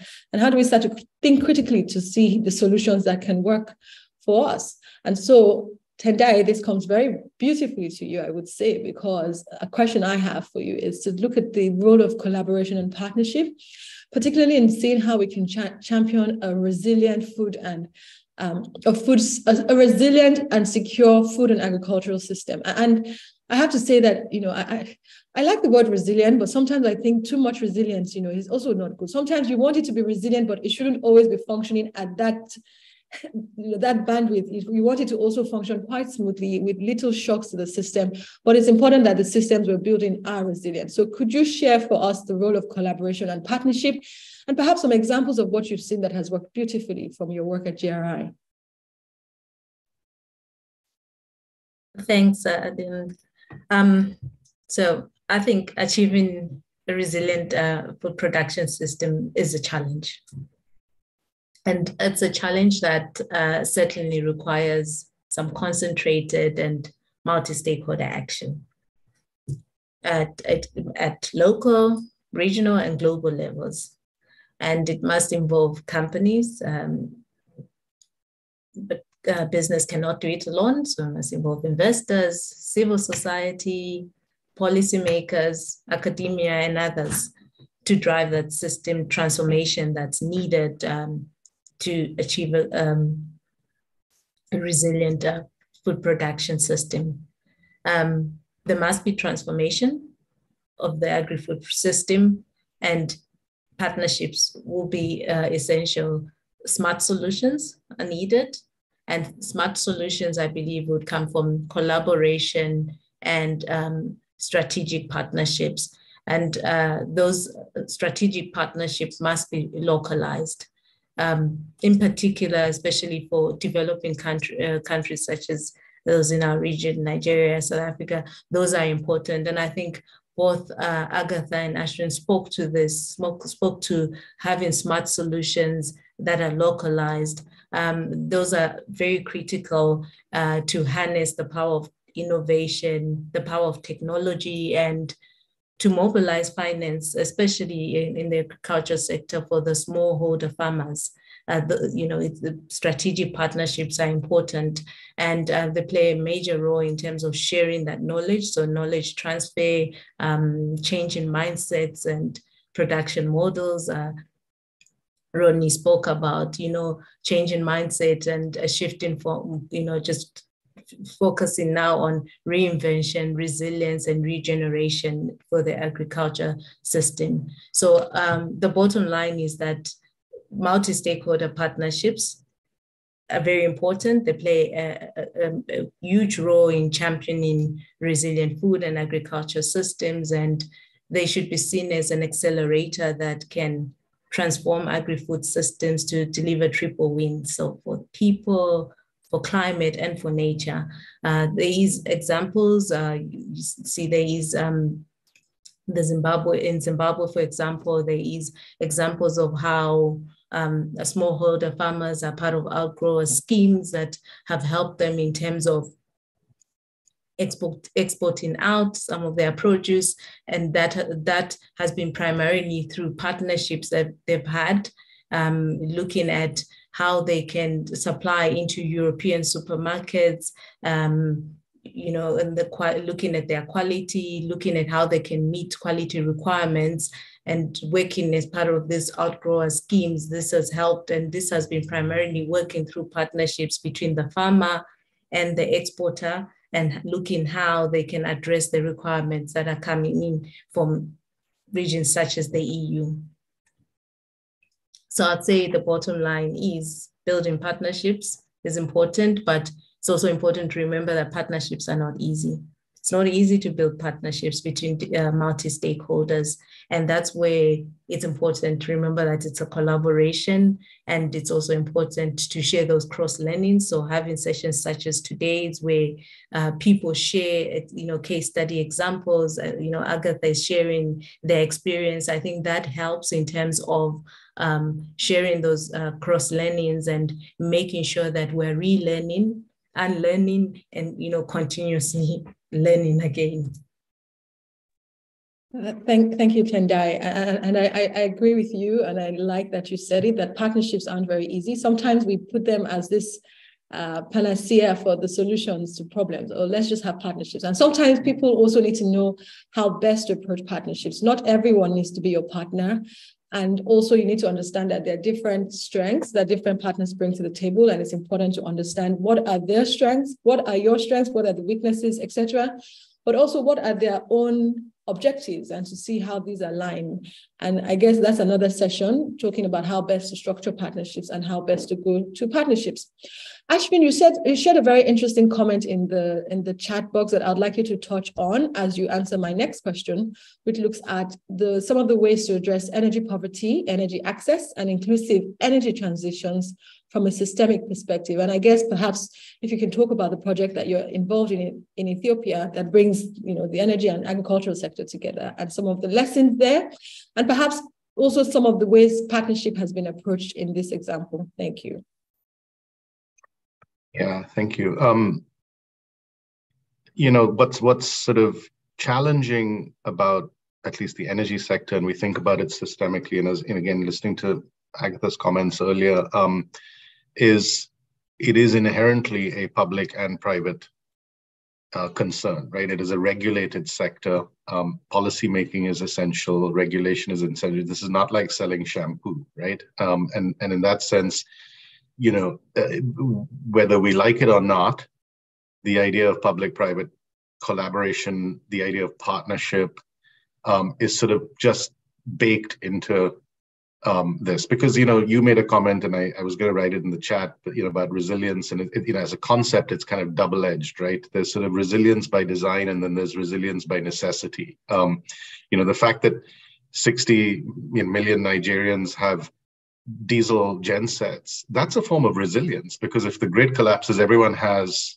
a generator in their house. But that's not kind of that's not really the resilience you want. Um, uh, and so you know we need to think about system resilience um, in a way that really brings public and private stakeholders together to understand what are the most cost-effective uh, solutions that can be accelerated most quickly. Um, and that does mean, uh, to Tendai's point, building partnerships that are of sort of unlikely uh, collaborators coming together to try and solve these problems. And sort of as I sort of I segue to the the, the thing I mentioned in the chat was just, you know, when we were obviously Ethiopia's had you know a really challenging sort of 18 months or so in terms of the conflict, but over the last few years we have been partnering interestingly with this sort of center of kind of innovation in the public sector um, called the Agricultural Transformation Agency there. And um, they were the ones who actually came to us and said, hey, we need a, we need a solution on power.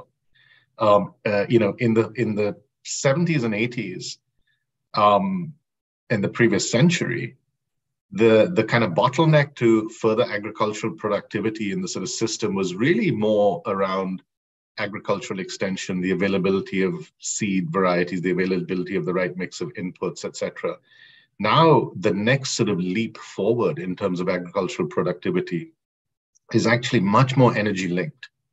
It is about on site processing, it is about cold storage, uh, it is uh, in order to empower farmers and cooperatives to be able to sell produce at the time that makes most sense for them. It is about being able to reduce the cost to access, physically access markets, etc. And so the solution that they wanted was, you know, how do we bring affordable, clean energy into these agricultural commercial clusters? So it was not the Ministry of Energy driving this. It was the ministry, it was an agricultural initiative. And so what we did was bring that conversation into a dialogue with the with MOE, which is the Ministry of Water, Irrigation and Energy, um, and started a joint sector project to look at how can we accelerate the deployment of of, of energy into these commercial clusters, right? That could allow sort of scaling up of local businesses in the agricultural sector around different crop types, etc. And we then sort of brought, um, so we set up a joint sort of project management unit on that, brought in, uh, you know, the multilateral development banks are always important in these situations. So the World Bank at the time was starting to look at a large amount of financing for distributed renewable electrification. The European Investment Bank was looking at bringing in some private sector funding for companies to participate in this growing opportunity and make sure that local companies capture, if you like, some of the business opportunity. And it's not all just fly in sort of international companies.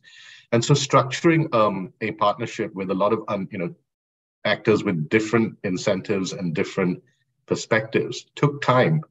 It took the best part of two years, but we have the first wave of on the ground sort of mini grids that are fairly large, serving agricultural clusters with private sector participation and public sector funding coming in to de-risk those projects because they aren't entirely commercially viable. It is complicated to put these things together.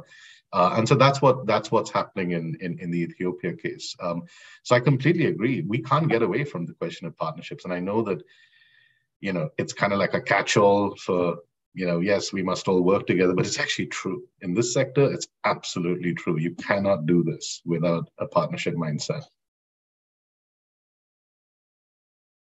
Uh, th thank you, Ashvin. Uh, and I guess from what you shared as well, uh, and to those listening, it's that these things take time and it's actually better in the long run to spend the time to ensure that the different stakeholders understand their role, understand their responsibilities, that you're also working with the right partners. And like Ashvin said, that you've really clearly outlined who benefits what, what benefits are also accruing to the, to the local economy, and how are those benefits also going to be sustained over time to ensure that you are providing so you know livelihoods that can also transform their individual lives and the lives of the collective.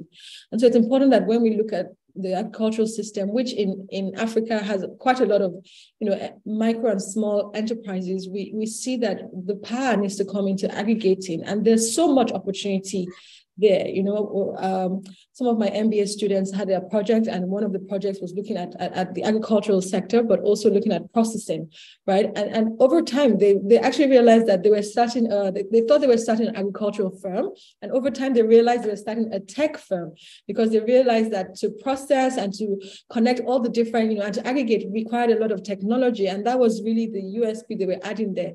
I, I mean, not adding, but providing. And I guess that perhaps for, for those of us here looking at agriculture and also looking at energy, it's important that we also see that there's so many ripple effects that can happen.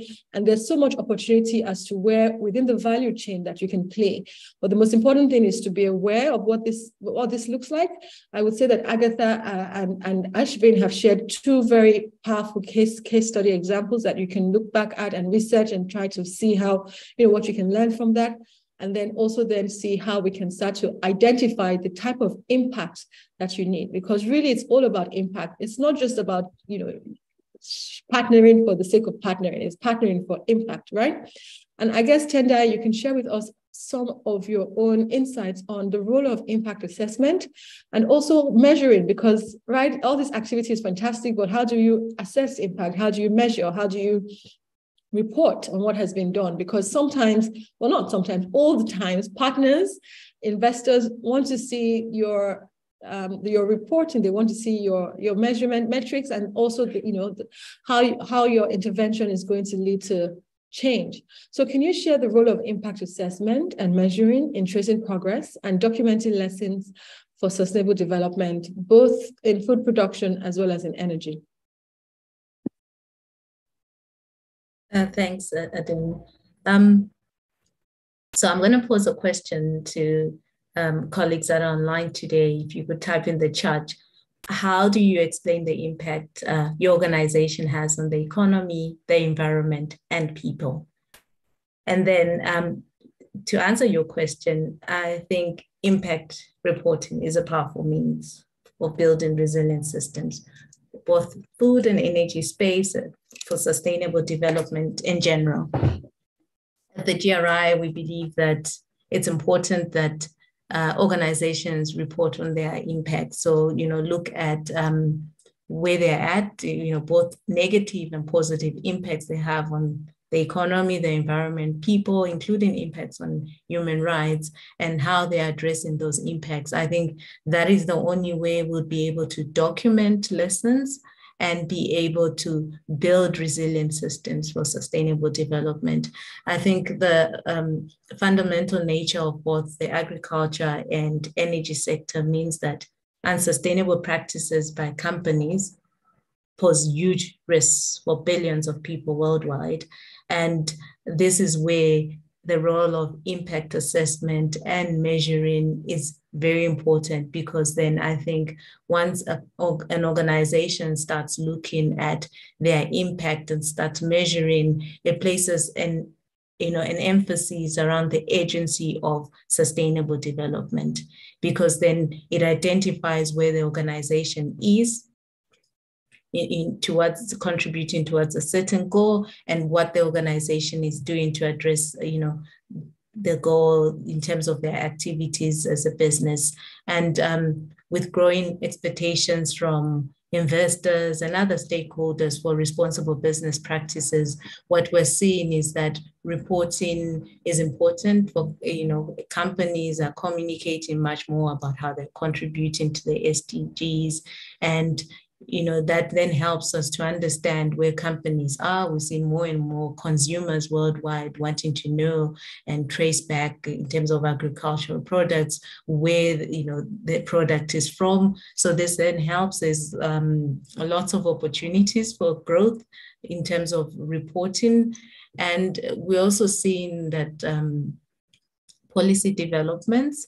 So um, impact assessment and measuring have you know, opportunity or present an opportunity to address policy developments that are, that are coming up, uh, such as the EU Green Deal or the Farm to Fork policy, which requires, for example, action to reduce the overuse or negative impacts um, of pesticides or fertilizers or increasing regenerative farming. And so impact assessments and measurement and reporting offers that opportunity for companies to demonstrate how they are um, working towards addressing the policy developments, but ultimately how they are working towards contributing to sustainable development. And so with that, um, at the GRI, we have developed a sector standard.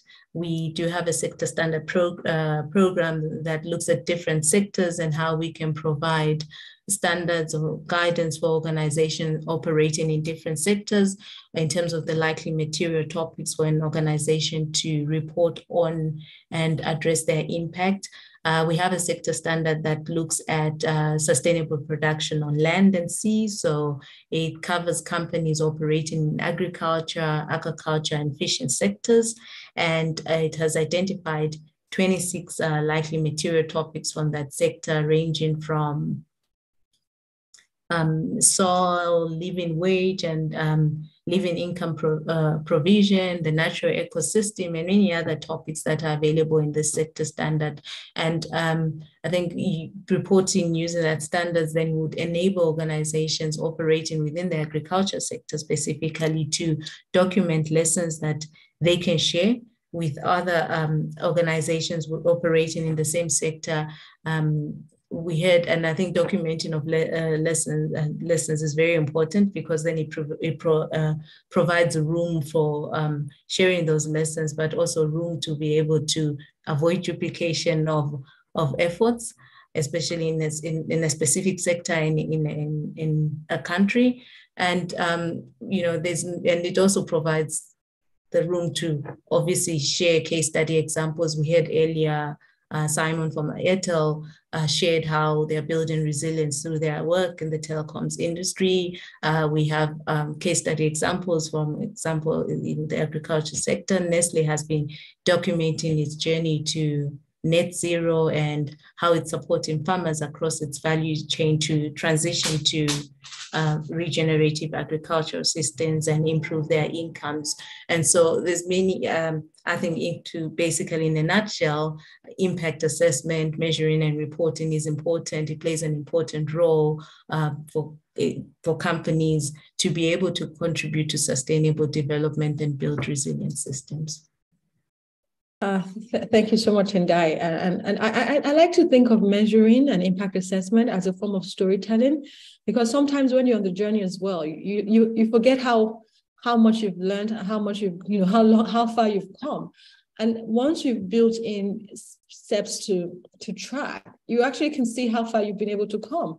And that also contributes to the storytelling. And and lets you understand and see whether or not you know it's not just only about the impact of your project but it also gives you the metrics to evaluate it in terms of how it compares with other projects and in some cases or how it compares with previous projects. So you also see how you're evolving as as an organization or as an initiative. So all this is to say that it's very important and sometimes we we we overcomplicate it, but I'm sure Tendai will tell us that you know the, the the GRI is a very accessible and it is accessible way to understand, to track and assess, and it's also that sense of how do you report what you've done? Because one thing that is important for development as well is that we need to ensure that we're constantly documenting so that we're able to start off from where others have stopped as opposed to learning and you know starting all over again and going through the same mistakes over and over again. And so even for projects if you're thinking of projects perhaps you can also find a, a partner that is very good at you know understanding how to set up the system to measure to track. And that partner can also help you with your documentation and your storytelling not giving a plug for the sustainability center but just just in case you know um, okay agatha over to you before I go to the questions we have in the in the Q&A, and they've been quite interesting questions. And the question I, I would like to ask you, and you've already touched on it, but let's just talk about the role of government. And and I, I hesitate a bit because exactly, but I know that, I mean, and I, I think it was Ashvin that said you know, government is important, public sector is very important. But can we start to think about some sort of centers of excellence or examples from within Africa that we can learn from in terms of how government has worked hand in hand? And I, and I think your example is also quite good because you've you've had to work with government. So can you share so maybe a few ways that you think this is how best to work with government and this is how best to approach government and how you can continue, or maybe something you wish you had learned before. Thank you. Thank you very much. Um, we've been through three or four uh, regime changes in Nigeria since we started our project. This, this project started under the Obasanjo regime and uh, it moved into the Yar'Adua regime and then the Jonathan regime, and now we're in the Buhari regime, okay? And uh, we're still about to get there, fingers crossed. It's interesting when you're working in an environment where the people that regulate the environment are saying one thing and doing another. So for projects like ours, which is a very long-term uh, investment that requires heavy uh, investment from all, all manner of partners, um, it's, it's quite challenging holding the string and trying to make sure that everybody follows through uh, to the end. So we've had experiences where some of our multilateral um, investors and supporters backed out uh, through no fault of ours, but just because of changing government policies. Uh, the regulator, for example, was changed overnight, and then a, and a sole administrator was appointed. And everybody was like, hey, that is not workable, that's not feasible. But what can you do as an investor? You just have to find a way to try and make your in, um, financial partners understand that in this environment, things are not exactly the way it should be, but that with time, solutions can come through that will enable you to reach your desired goal. Um, I talked about having the right of first refusal in our agreement. However, during the period of change, uh, during the privatization, the government still didn't uh, adhere to that clause in the agreement. And unfortunately, the human error that occurred during that administration led to about nine years of us having to just sit and try to unravel the, the, um, the mess that was created. So we're just fortunate that the way the project was designed, it's robust enough to have been able to withstand the very dark period that we went through. So, how do you deal with this? First, for any project to succeed, especially in this part of the world, you need to have, again, very resilient investors, local investors, who would not drop the ball and run away when the going gets tough.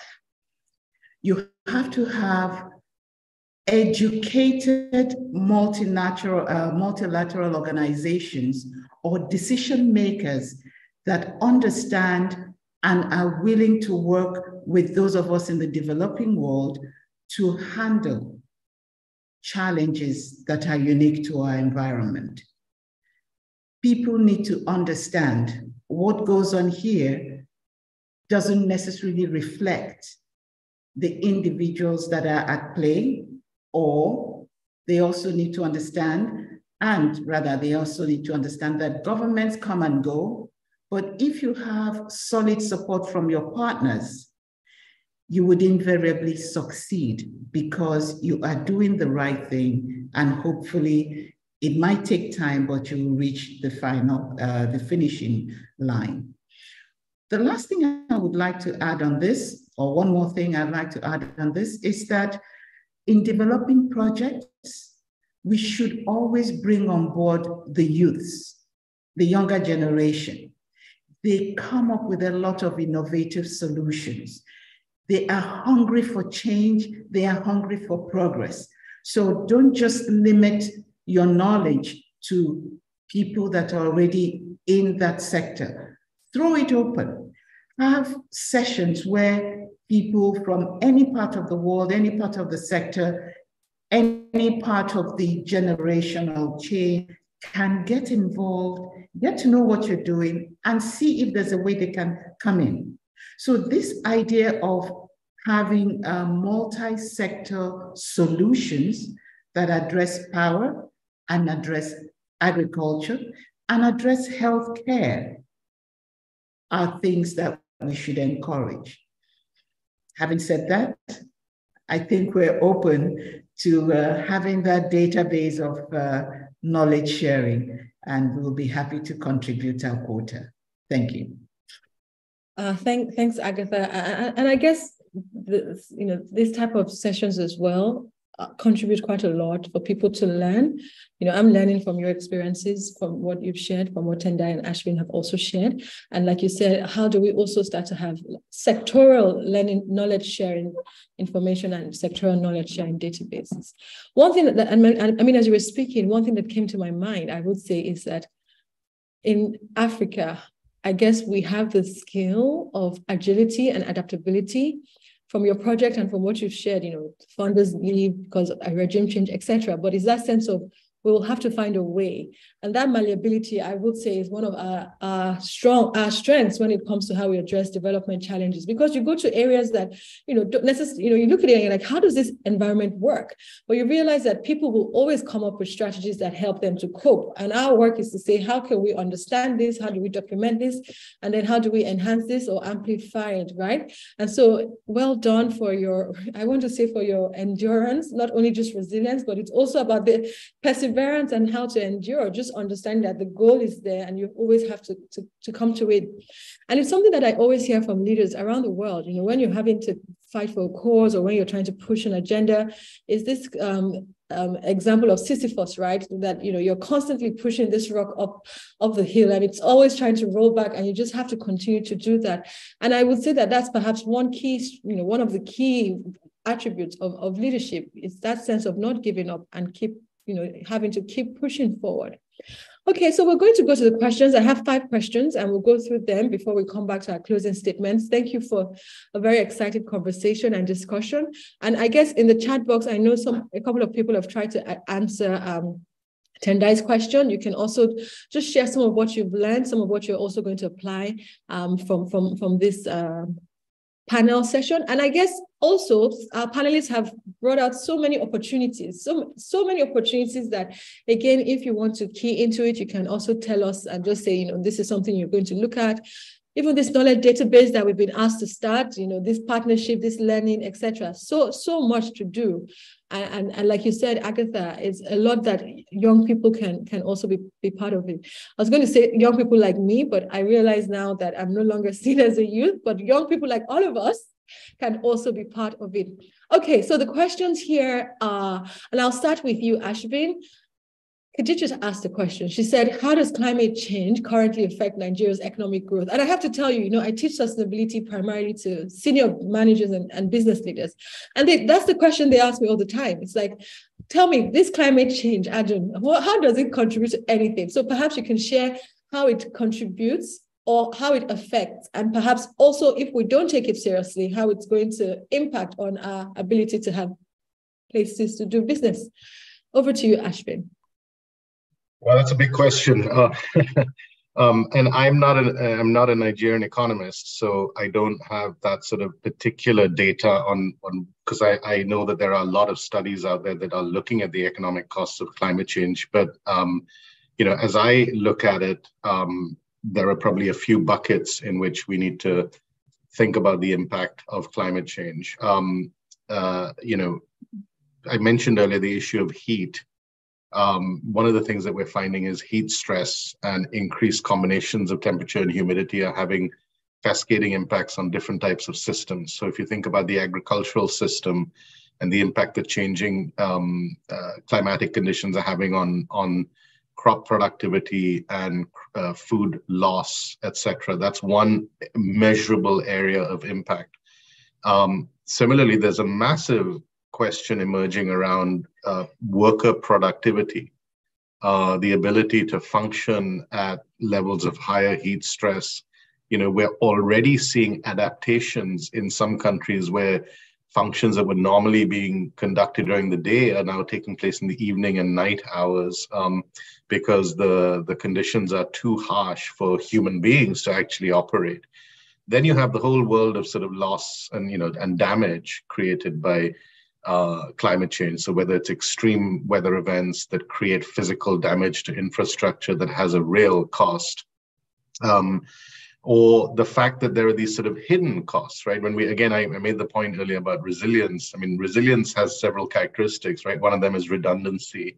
Um, and when you think about the idea of redundancy, it means you have multiple backup solutions. And in a world where you have more extreme uh, conditions, people rely on more multiple backup solutions, that's a cost. That's a cost of doing business. You know, if I need to have backup power and I need to have, uh, you know, a way in which I can have double, you know, I have to bring in extra costs for labor and all of these other factors. It's a cost of doing business. So, look, I, I mean, I, I think there are several, there are several studies that I'm sure apply to Nigeria as well that look at it in terms of percentage impact on GDP Um, but I think if you look at it from an individ, from a sector perspective or a business perspective, it's very real and tangible in terms of how uh, this is affecting uh, the the the sort of bottom line, and therefore, when you aggregate that, affecting the economy as a whole. Um, I, I don't know enough, honestly, about Nigeria specifically to know where the greatest sort of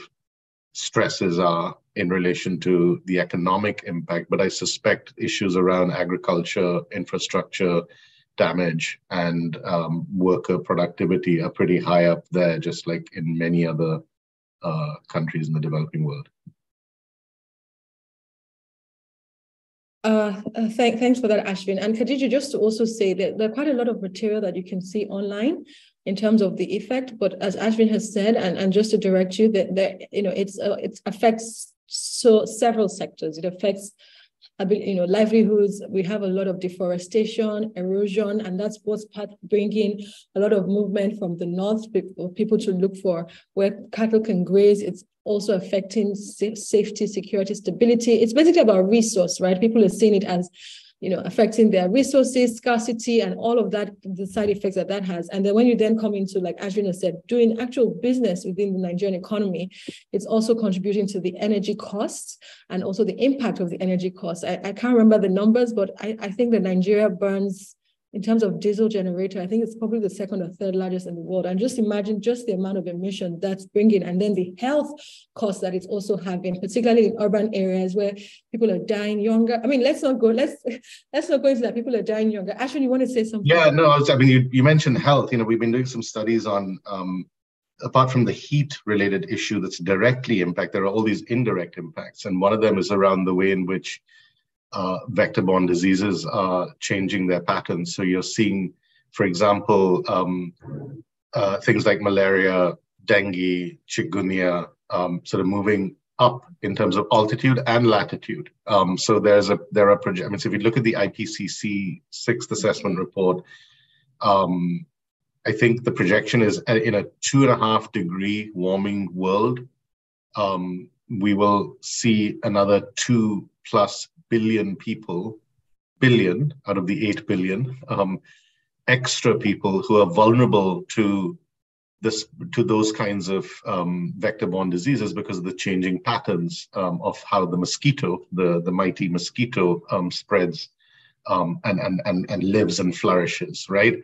Um, now, calculating the cost of that in economic terms um, is, is, is something that you know we're probably still just scratching the surface on, but it, the, the health impacts are, are, are, massive, and so there's that sort of direct as well as indirect impact on the economy through health through the health sector.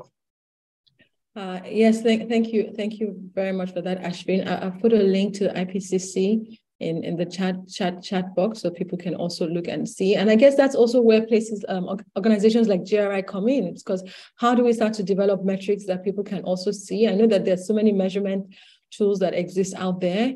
Um, and it's also that sense of, you know, because it's such an intangible, how do you then also then make it tangible so that people can take it as seriously as, as it is?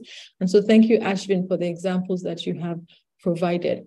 Okay, so we have about 20 more minutes. So I will go to the next question, which was asked by an anonymous attendee to say that says that actually this is before our session, but I guess we'll talk about that later. That's actually before our session. So Boyega Olorunfemi asks, and he says that the Food and Agricultural Organization, the FAO, suggests that as much as 37% of food produced in sub-Saharan Africa is lost between production and consumption.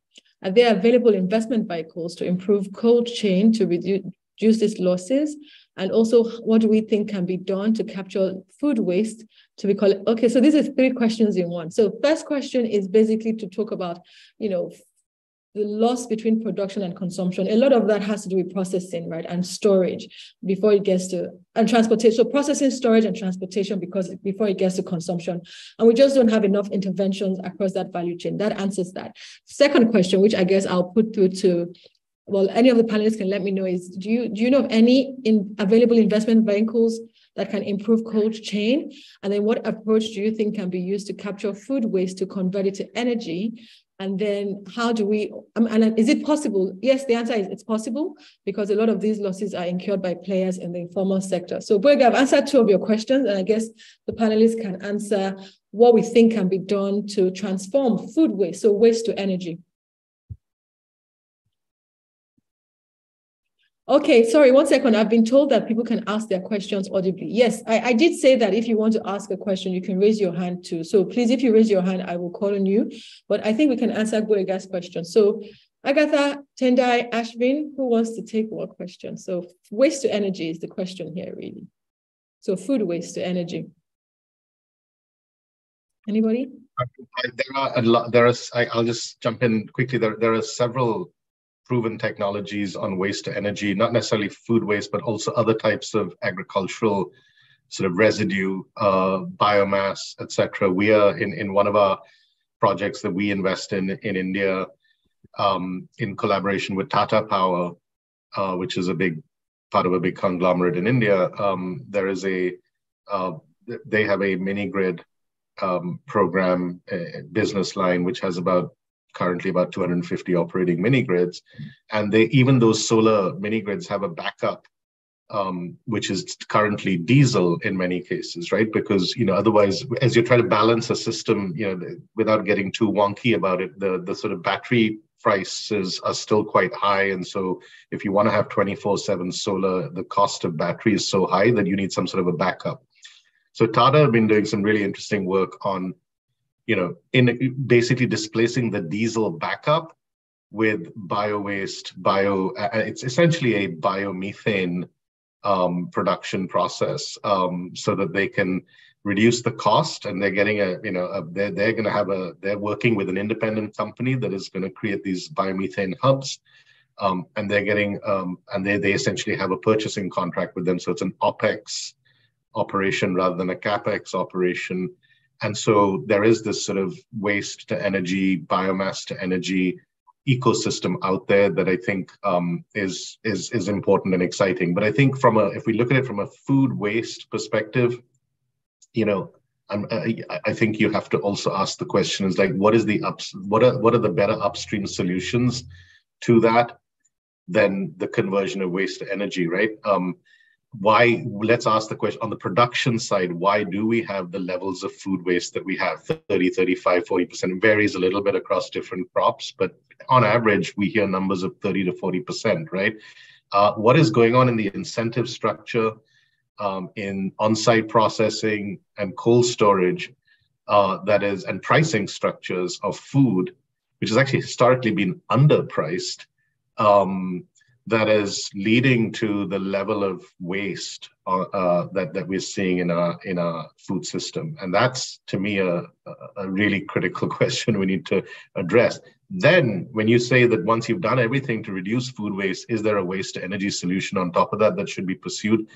Absolutely. Um, but i think we have to stop. We you know we are we are fast approaching a 9 billion planet and we are already producing enough food to feed 10 billion people but we're flushing three or four billion people's worth of food away, um, which is just a shocking reality, right? It's just in a, in a in a system where we're trying to create environmental sustainability. The fact that there is 30 to 40 percent food waste to me is just a tragedy um, that we have to think about multiple solutions for, and waste to energy could be one of those solutions. Uh, yes, and Ashvin, I completely agree with you, and I would say that it's also, you know, I was on a keynote panel with Rodney actually, I think last week in, Amsterdam, and, and it was looking at, you know, some of the things around the circular economy as well to say how are we designing the systems that are, you know, that are affecting food production. And so, and it's not just food production, even in architecture, they also have about 30% of waste in terms of what goes onto site and what is taken out, out of site. And so can we start to think about things also from a circular economy perspective? So Boyega, you can see quite a lot of information already on online there. But one thing I would like to add that I, I mentioned there as well is that I feel like we need to also question ourselves in terms of how we consume because the waste doesn't only happen between production and consumption. Also, when you go to you know the supermarkets, the restaurants, etc. So how are we also and even homes, right? You see so much that isn't consumed. So can we also look at responsible consumption and see how we can reduce? If you don't need something, then perhaps you do also see how you can make it available to someone that needs it, right? As opposed to letting it become waste, which is what I guess Ashvin is saying. How do we even reduce the volume of waste before we then, because that would also affect how much we have to convert. And, and energy is also being used, right, in terms of these conversions. So we need to be as efficient as possible. And I guess that, that those are some ways we, we, we also need, need to think about it. Agatha, I'm going to come to you before I answer the final question, which is by Dio. And Agatha, the question is, what's the interest of geometric power in providing power Okay, in providing power to power cold chain in order to reduce food losses and strengthen food systems. But I think geometric power is an integrated power project, right? And it's looking at providing power. But can perhaps can you share some of what you're doing, not necessarily for cold chain, but also to look at how do we strengthen the energy system and what are your plans for the future, if you can share some of that. Thank you. Oh, thank you so much. Geometric power wants to actually get into the uh, renewable energy space. Um, but I would like to take one quick moment and um, refer our last uh, inquirer to the Songhai Farms. I don't know if you've heard about Songhai Farms.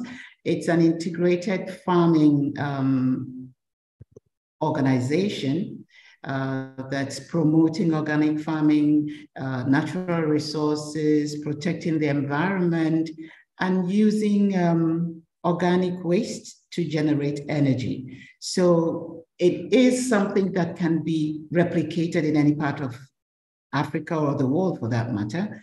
So I would suggest that um, our participants that are interested uh, look that up and contact them for, for more information on how we can utilize uh, organic waste for uh, generation of energy.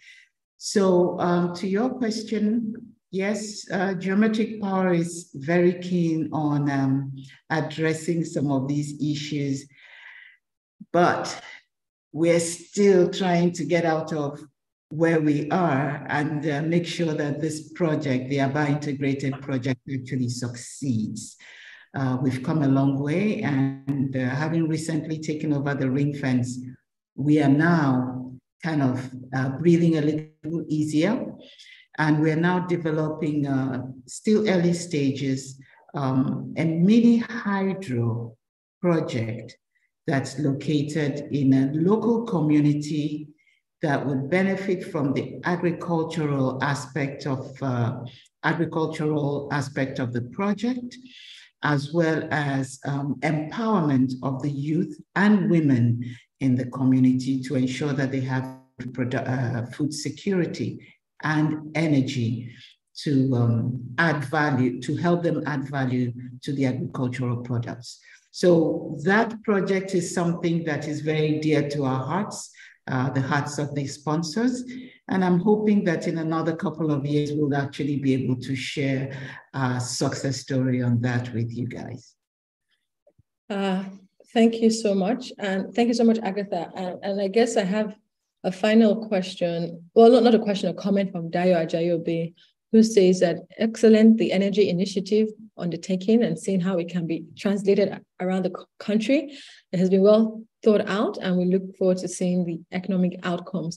And I guess this is the thing, right? It takes time. So anything worth doing takes a lot of time. And you know, it's better to be as patient as possible to ensure you do it well before trying to replicate it, you know, throughout the country or throughout other spaces. And sometimes it's that patience that we don't have. And what it means is that we don't just wait to see what can work well, but we're piloting and also piloting errors. So there's something to do with focusing on certain things and finishing it and then moving on to the next. Okay, so I think those are the questions. If I don't have any more questions, is that correct? Anybody else have any questions before I go to my panelists for their final round of comments before we close? Okay, we don't have any questions. So um, Tendai, I, I want to come to you because I think that when people hear measurement, assessment, reporting, the switch off. Um, can we, can you, what can you share with us here on just in terms of how to start to address reporting from a, you know, from a position not only of responsibility, but also a position of learning and knowledge sharing. So you've already shared with us why it's important and the impact, etc. But I know that there is still some reluctance, right? Because sometimes people think, oh, this is just for the multinational organizations or for the large companies that have large government that require funding and government projects, etc. But can we make a case here for the, you know, the individual people, you know, the individual projects, the smaller projects, right? The projects that young people are going to come into and working with different people. Why should they also take reporting seriously?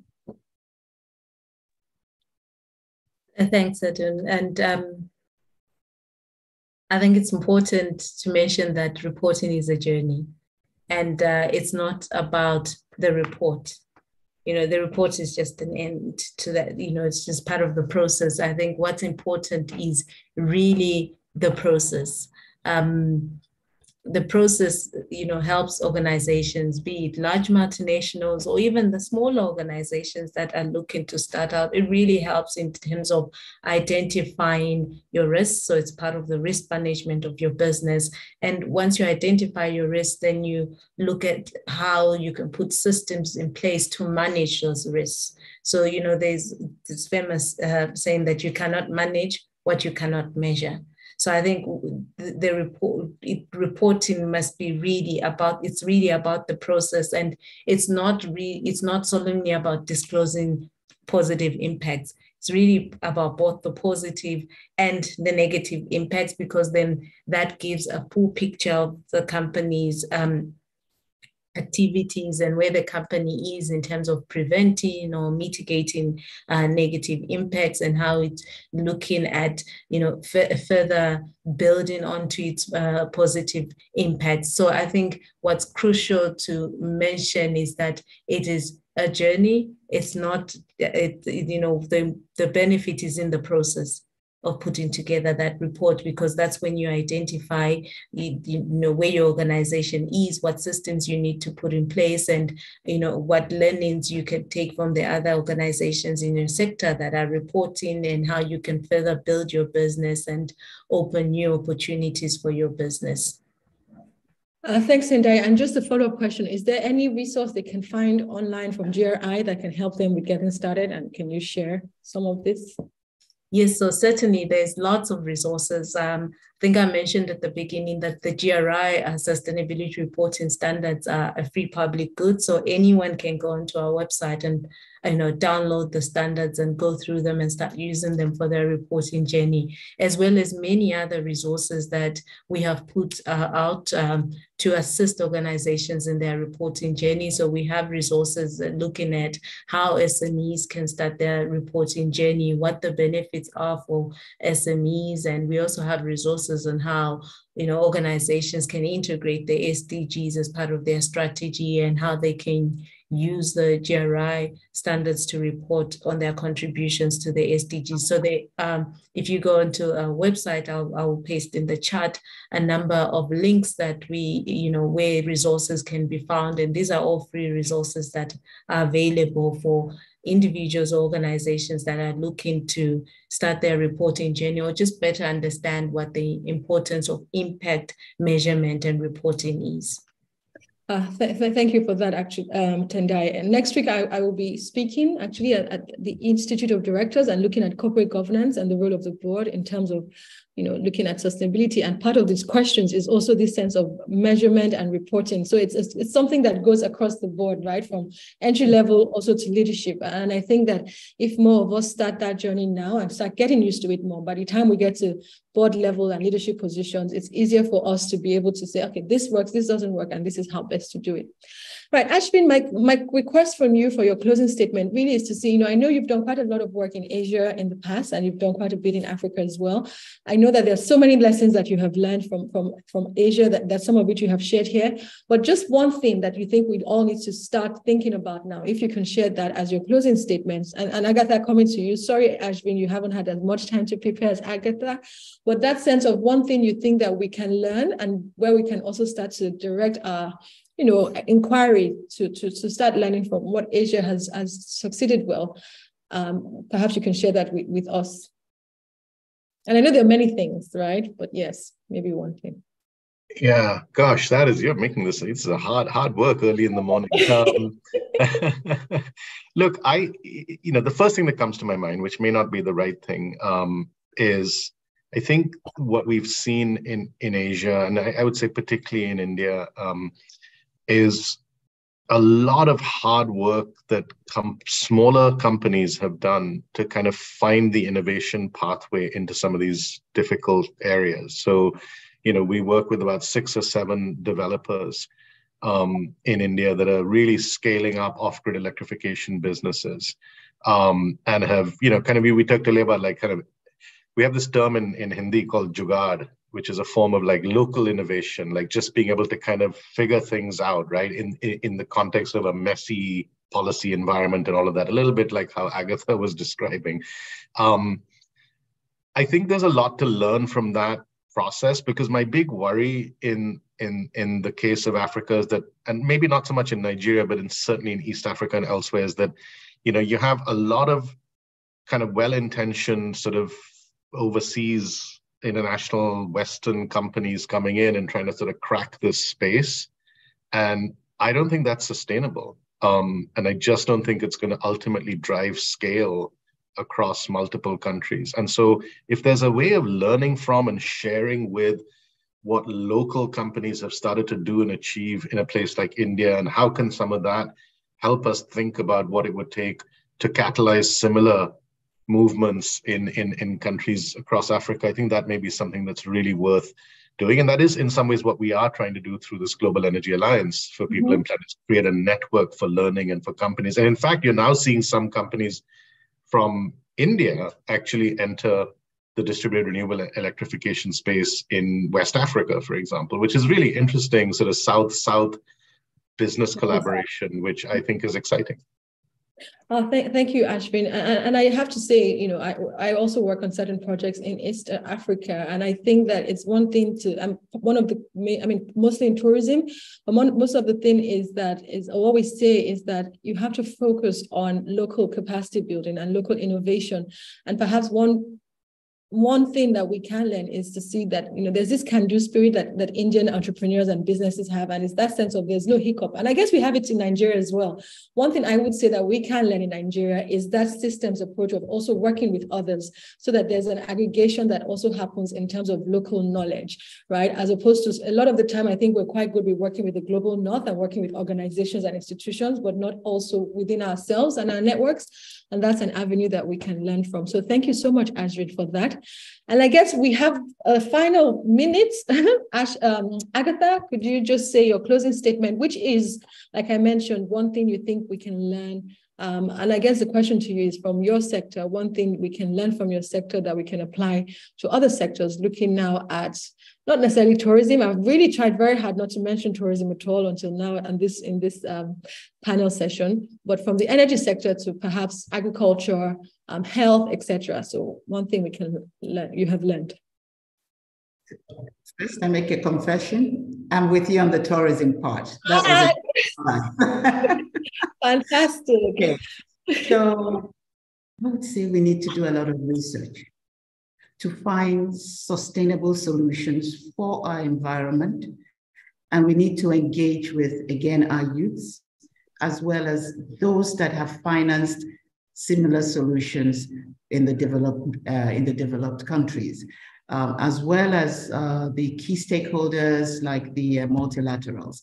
Their role in making change uh, feasible cannot be uh, overstated. So let's focus on finding a solution that is localized, customized, and will be part of um, the lives, eh, of changing the lives of the people. That I, I would like to see happen. Thank you. And there's a lot that we can do. And, and I've been seeing comments in the chat box, and most of it is ideas. And basically, when you have an idea, like what Ashvin has said, how can we move that idea to action? So thank you so much to my distinguished panelists. I've enjoyed this time. Like I said, our challenge will be to keep to time, but I think we've really tried and we've managed to do this. So over back to um, Sustainability Center. And can we just give them a round of applause? I know you can't do that audibly, but if you can just give them a round of applause for being such a stellar panel. Thank you. Thank you very much to our amazing panelists and to our amazing panel moderator. I wish they could hear the round of applause because they really deserve it. They've, they've really responded very well to the quality questions and their responses go a long way to tell the quality of work they do. Wow, that was really insightful and educating. I cannot begin to break down the detail. It was a crash course indeed.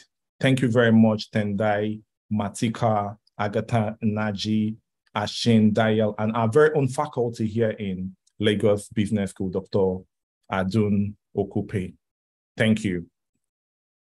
Before we delved into the panel session, we were supposed to play a short video, but we're having technical difficulties, and I trust that that has been sorted now. But before we come to the video, we will have a trivia poll to test our knowledge around the SDGs, around the Sustainable Development Goals, which we know it's, uh, it's, it's, it's um, going to be a very easy one for us. But um, I think that's, that's already up on our screen. We'll just quickly respond to it. And while we're responding to that, we also want to let um, appreciate everyone for being on time so far. From the time allotted to everyone, we can see that um, we're still we're still around our time schedule. And we want to encourage everyone that will be speaking or that will be participating in the meeting to also ad adhere to the time allotted to them.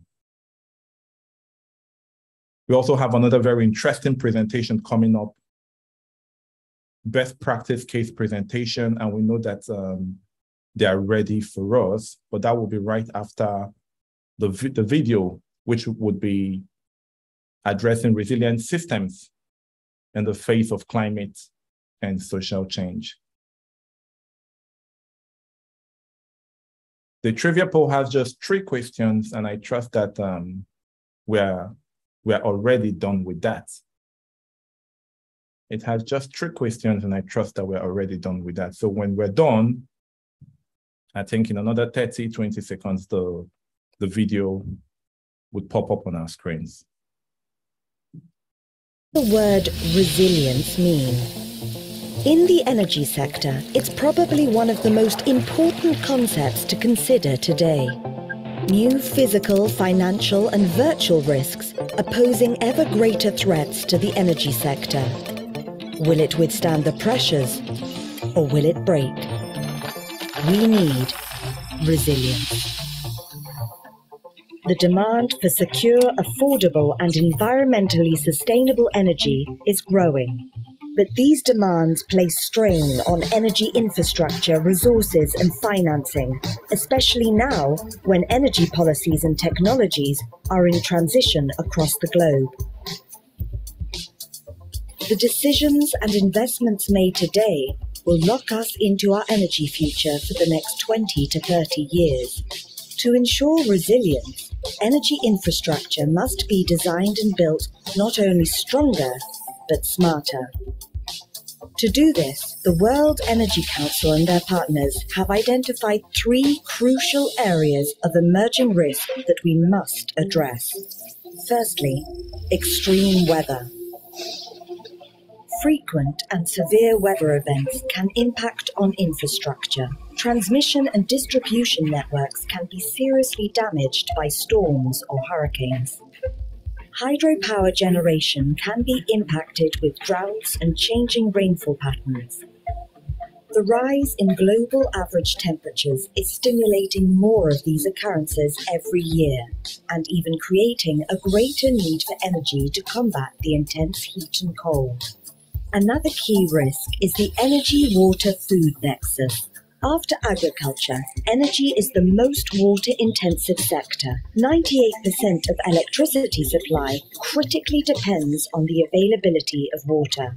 The interdependencies and sometimes competing demands between water usage and the production of energy and food triggers great challenges. disruptions to the nexus can impact the stability of energy supply and demand for years or decades.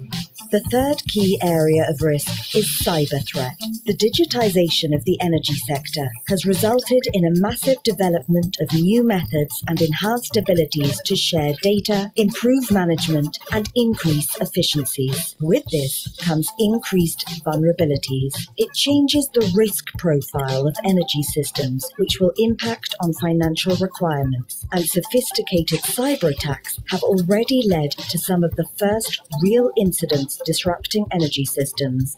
As our energy sector catapults forward, changing and morphing in its complexity, meeting a greater energy demand while being more and more vulnerable, understanding and improving resilience is one of the few ways we can be better prepared. To increase resilience, the World Energy Council and its partners recommend seven actions are taken. Key recommendations include finding creative financing solutions, such as attracting investments from a more diverse group of investors and understanding risk transfer with tailored instruments such as weather derivatives and cyber insurance. In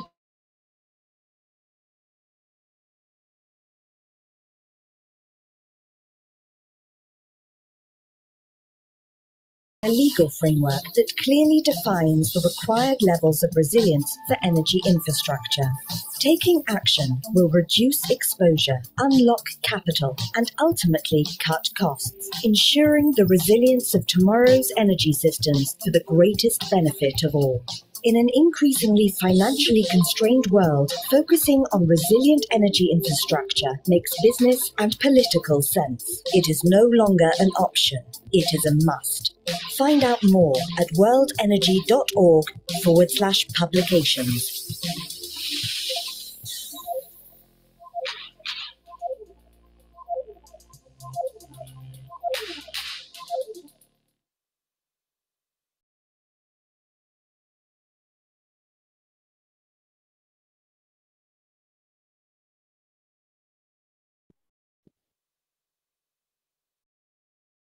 Positive change and sustainable growth are within our reach.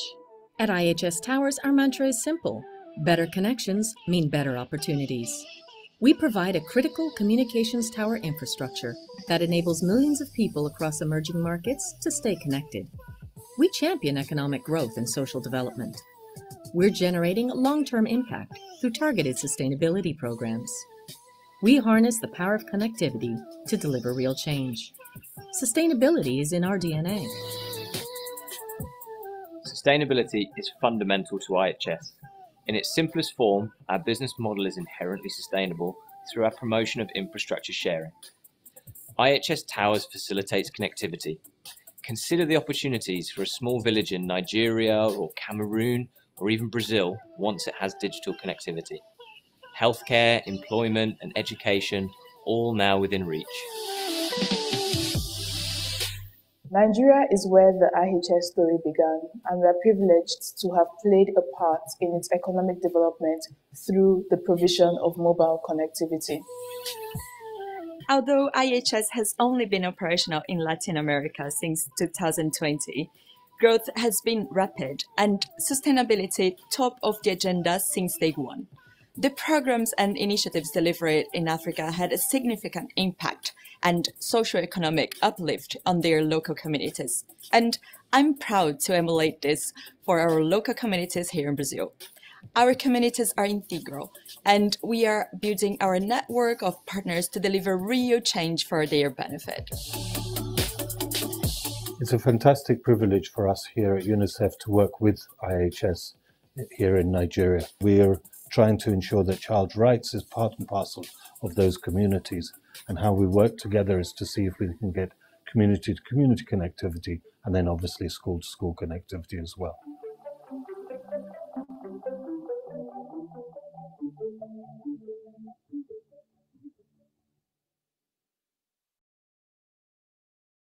Whether it's mitigating the effects of climate change, giving everyone access to clean water, or ensuring that no child is forced to go to work instead of going to school, there's so much more we need to do to create a sustainable global economy.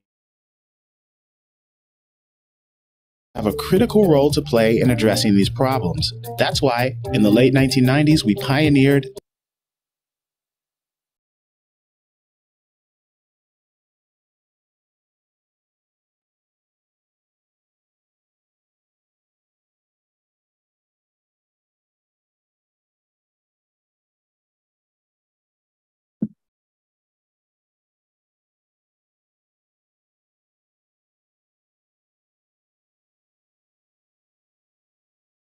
Okay, thank you very much to the technical and media team for putting those videos together. That tells a bit of the story of what some of our partners are doing. Thank you very much.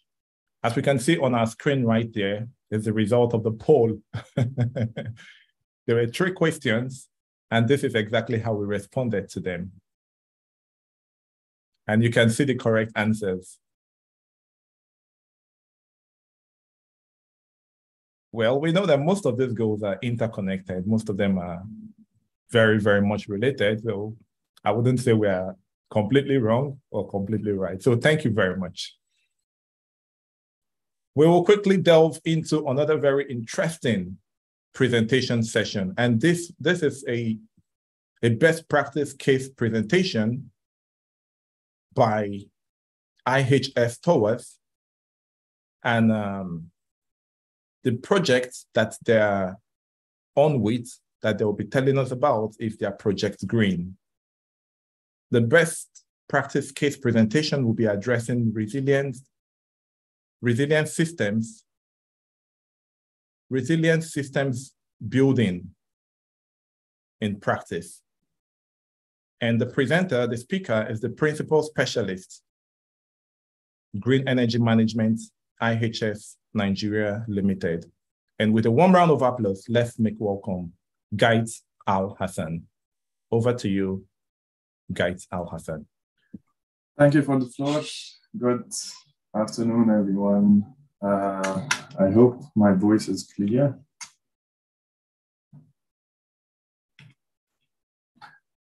So, can you hear me? My voice is clear, right? Yes, it's clear enough, loud and clear. Okay, let me share my screen quickly. All right. So, uh, okay.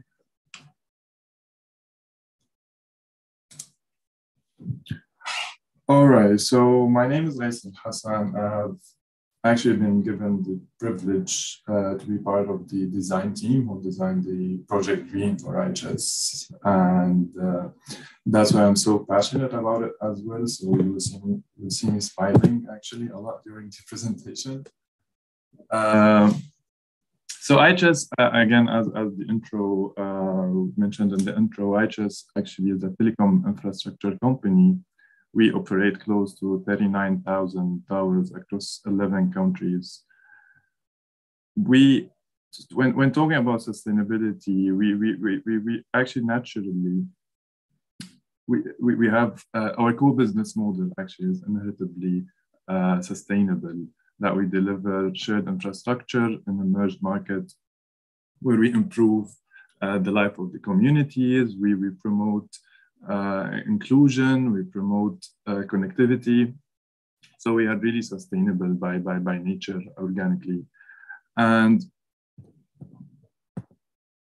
so also, also for, for Nigeria being our biggest market, we have, we operate 16,500 uh, sites in Nigeria alone. So we believe uh, we have a big responsibility and we believe that we, we, we don't want to be only part of the problem. We also need to create a solution. So we've introduced the, the Project Green. So just to give a quick uh, overview on the agenda, we'll talk about the IHS core values, the reduction in carbon footprint roadmap, Project Green initiatives, then sourcing and strategy. Then we can end up conclude with the Q&A session.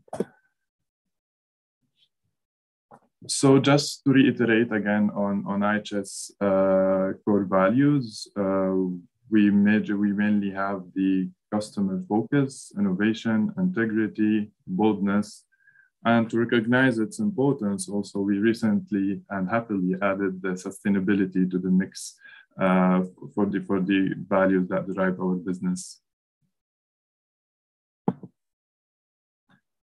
Project Green and where the journey continues. Um, so basically, Project Green is really about uh, it's, it's, it's a power project where we are intending to replace or optimize uh, our power sources uh, in a more greener manner. Our future outlook is to reduce 50% of our carbon footprint. And let me just take a step back. Um, so basically, we are really not new. This is not really new to IHS. Uh, back in 2016, uh, we last made our significant investment in hybrid solution where we upgraded over 9,000 towers in Nigeria. We were able to reduce our diesel consumption by 50%. But we felt that that's enough. And what we are trying here to do differently, because also back then in 2016, we were a bit actually constrained with the technology itself. We can like for example the solar uh, the solar panels we were limited with the, the, capacity of 250 watts back then because that was how the technology now the, that the technology improved.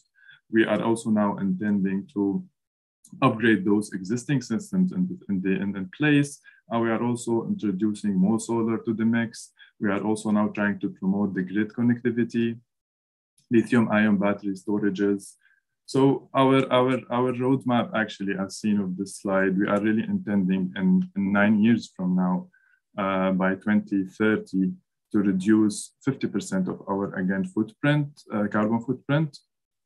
Currently, just to give an idea on our benchmark, we today IHS uh, consume across the 16,500 sites around 26.5 million uh, liters of diesel on monthly basis. And that's a big responsibility. And that's also despite the challenge, uh, the, the, the, project that we've, we've run and in 2016, we still have this big volume of diesel in place. So the project Green mainly is, is intending to impact close to 12,000 sites across, again, all Nigeria states. Uh, we are intending to reduce 250,000 tons of uh, carbon on annual basis and 112 million liter of diesel. Again, we, we, we started actually this year, uh, early this year, we have started the project and we are so aggressive about our, our plans. Uh, as I speak today, for example, for the grid connectivity, we have, we have close to 1,000 locations already connected on grid. We have placed our orders for, for the solar, for the lithium ion, so we are really so serious and aggressive about this uh, plan.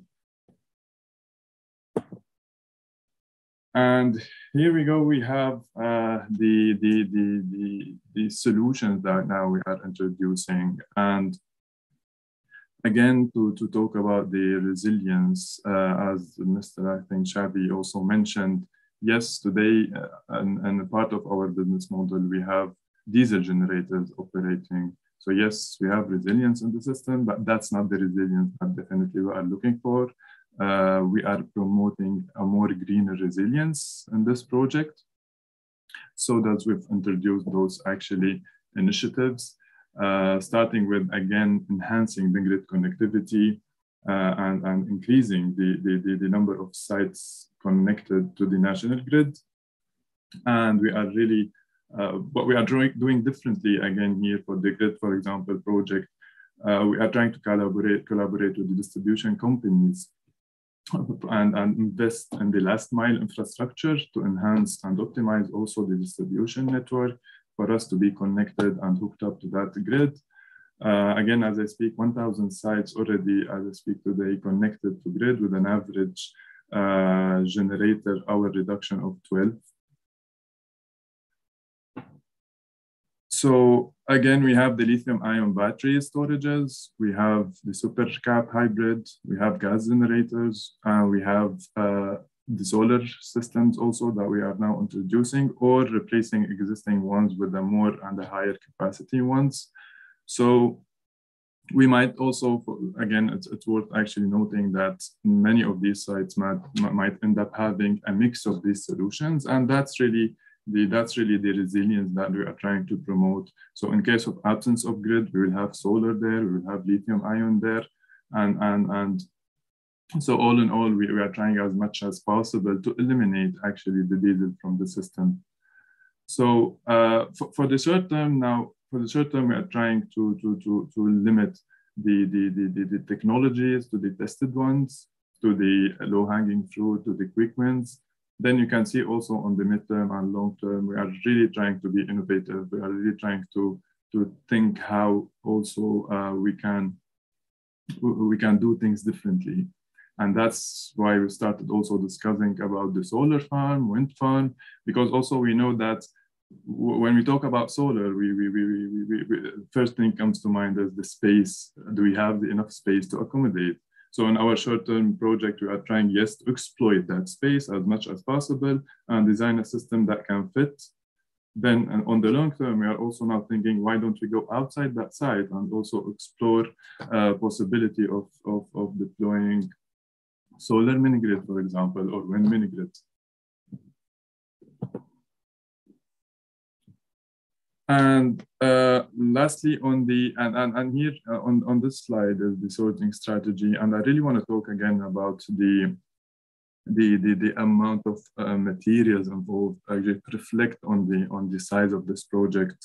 So so so right now, as I speak, also uh, we have placed orders for around 38 megawatt uh, solar capacity. Uh, it's it's around 69,000 panels also around 82 megawatt hour uh, storage capacity. All orders have been placed.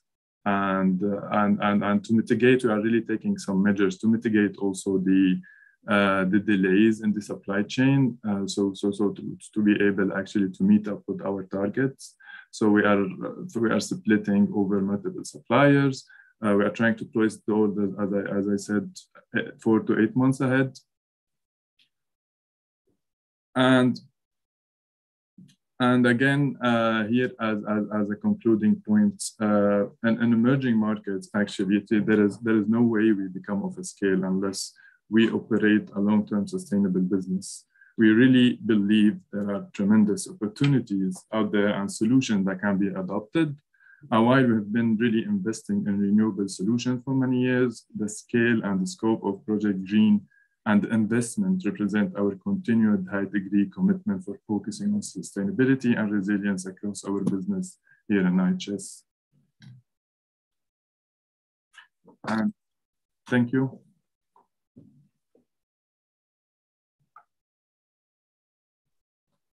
Thank you very much for that insightful presentation. Thank you. Thank you. I believe um, some people would have some questions so if you have a question, do well to raise up your hand using the, the hand emoji. Just, just put that in the chat column. If you also want to type it, you can type the question. And please let's let's be quick with that so Mr. Guide Al Hassan can do justice to our questions because his presentation was great. And I believe there will be, we would need more insight to certain things. So if you do, kindly reach out to him by putting out your questions.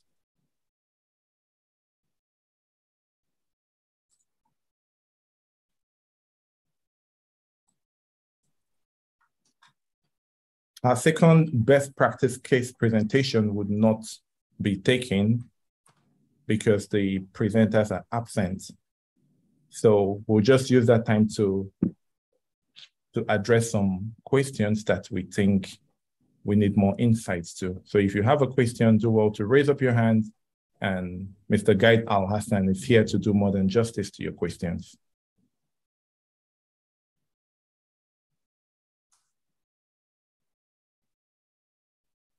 It's also it's also made uh, worth also to mention that our our earnings, uh, the, the, whoever is actually in, is interested in more details, all these actually figures and, and the project plan itself is available on our website. And on our quarterly earning releases, also we're gonna actually disclose the the the, the savings and and on annual basis also we're going to disclose the GHG emission reduction So whoever is interested in getting updates, actually, we will be disclosing this publicly. Okay, thank you very much, guys. Al Hassan, which means that if you need more light to the presentation, you can find it there. Okay, I think a hand is up. A hand is up. Okay, over to you. Let's let's hear your question. Thank you, uh, and thanks, um, uh, Doug. I think my question now specifically. So I'm here in Malawi and I work for Mutual. And um, I, I, I, was quite interested, um, most especially when you talked uh, about how you um, you're able to bring in your when you're doing your procurement, you're able to to embed uh, the issues that you want uh, your suppliers to take into consideration. So my question now from uh, from where I'm sitting, uh, I think I've got two for you, is how um, now I'm looking at monitoring and evaluation because you're sitting uh, in your organization, but then to make sure or to get to take the accountability that the suppliers are indeed uh, adhering to the standards that you're looking for uh, in terms of uh, in as far as sustainability is focused. How are you tracking that?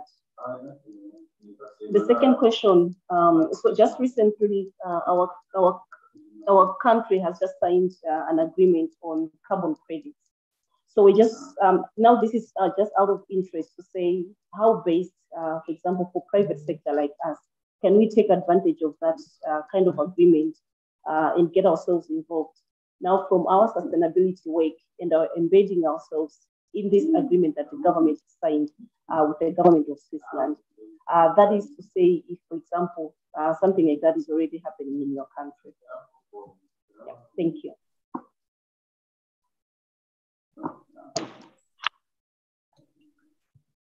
So can I answer that, right? Uh, so uh, uh, I was able to hear clearly the, the first question. I think I struggled to hear the second question. I think the, the, the it was a bit, you know, uh, disconnecting. But again, let me answer the first question about the, the, the risk uh, of quality. Uh, and, and that, that's a good question, actually. And that's part of, part of actually of the measures that we are taking that reduce the overall risk by we are just really using suppliers with a very robust track record, right? Again, these technologies are there uh, for a long time.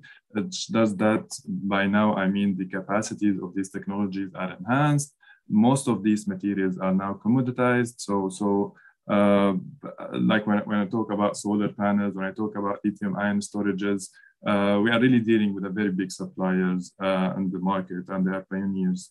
Uh, and, and, I think that's that's what really ensure uh, the, the, the, the, I will address actually the, the concern that you raised. And again, to reiterate, IHS has done similar project in 2016, which gave us a through experience, uh, end-to-end experience when it comes to the supply chain, when it comes to the implementation, when it comes to the planning even. So we've really, uh, we've really uh, put through all these, I mean, experiences that that we've gained uh, into this project as well to mitigate actually all, and, and we be proactive as much as possible. For the second question, I, I really struggled to hear the question. I'm not sure if, if the moderator can please uh, reiterate on the question. Okay, I think uh, she can take the question again and be more audible so Mr. Gait Al Hassan can hear you clearly. Thank you. I don't know if this is audible enough. Yes, it is right now. Yes. Awesome. And thanks for the first question. So the second question specifically is on the carbon credits. Uh, that is to say, is there anything that you're doing, uh, maybe from where you're sitting in your country? Um, I'm just trying to now asking, um, being in Malawi, we've just entered in, and now this is from a government point of view that uh, the government has just signed an agreement uh, with uh, the, uh, Switzerland, and the agreement is on the carbon credits. So are there any opportunities that private sector companies, for example, Old if they're championing sustainability and climate change issues, that they could take advantage of this uh, carbon credit agreement that has come through? And if, if, if, there are opportunities, what kind of insights can you give uh, if that is, uh, is something that you do uh, uh, or track uh, from your country as well? Thank you. Yeah, thank you. Uh, I think yeah, now I got the question. So so so for the carbon credit, really, uh, although yes, definitely we track this. Uh, our group actually uh, track this uh, delicately. Uh, we right now, as I speak, we still uh, we, we we really haven't really discussed whether these credits will be sold or whether they'll be retained. Uh, but yes, to answer the question, yes, we track this. definitely, it's part of even our reporting obligations. Uh, but again, there is no yet any decision toward what would be the action taken uh, on the credits. Uh, the, the, the old focus at this stage as was on the design, on, on the implementation, and even getting actually this, uh, this volume of CO2 really reduced genuinely. Okay, thank you very much, Mr. Guides Al Hassan. I think we have another question in the chat column and that's from Ahmed James. He says, he asks, how does access to internet help in the fight for climate change? How does access to internet help in the fight for climate change? Okay, uh, perhaps I didn't get the question well. Uh, can, can you please rephrase the question? Perhaps I didn't get your point. The question is, how does access to internet help in the, in the fight for climate change? How does access to internet? So, so access to internet again, it's, it's it's similar to the to the concept of the of the of the mobile phone because once okay, it, it promotes sustainability through through the interconnectivity for sure and through through inclusion. How this affect the climate change, I'm not sure. Perhaps I can relate. Um, perhaps uh, I don't know if, if anyone of the audience also might have an idea on this question. Okay. I think on that note, we would um, say a very big thank you to Mr. Guide Al Hassan and you can see every everyone really did appreciate your presentation. If you check the chat column, you see all the comments and commendations there. Thank you very much for letting us know your practical carbon reduction plan from short term to medium term and long term. Thank you very much. At this juncture, before we go into the, the summary of the program, we will, we will take a, a moment to watch a brief video. I trust the media and technical team is ready.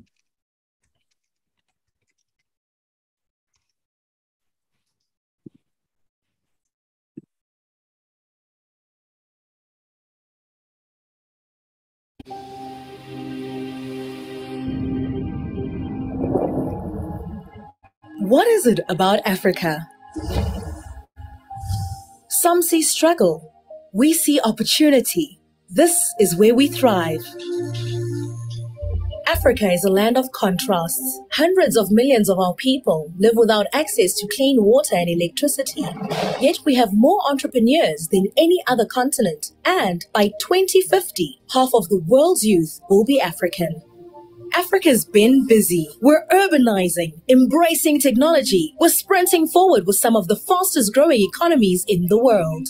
It's time for African driven solutions to African problems it's time to seize the moment and create our own narrative to build the Africa we want.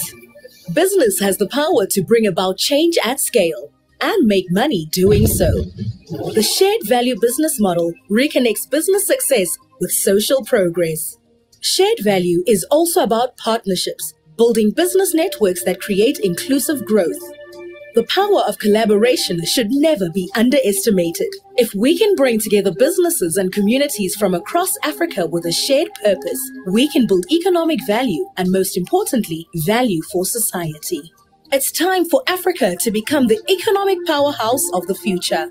Become part of Africa's most powerful shared value business network. Join the Shared Value Africa initiative today.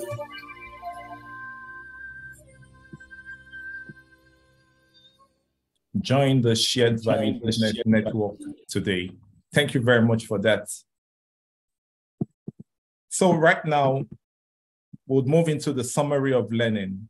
We've learned a lot from far and wide, but to put everything into a nutshell, we have the Chief Executive Officer of Shared Value Africa Initiative, to do justice to that. With a warm round of applause, let's make welcome Tiki Barnard.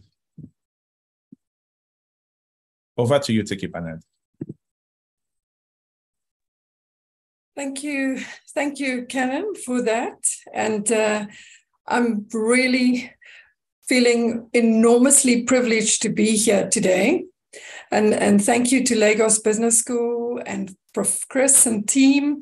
And what a privilege to be at the 8th International Sustainability Summit and just to listen for almost four hours to such encouraging and inspiring thought leadership um, that was shared with us and how we can build resilience to create sustainability.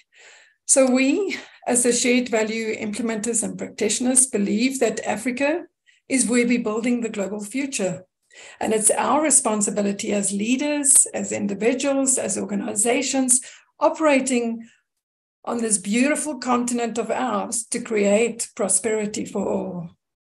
So the signs of resilience focus on the ability to develop in the face of growing, as um, Rodney was saying, growing turbulence, uncertainty, volatility, and ambiguity. We need to develop persistence and adaptability to innovate and transform with resilience thinking at the heart of what we do. For too long, we've assumed that nature is separate from society, when in fact, ecosystems provide the basis for social and economic progress and stability.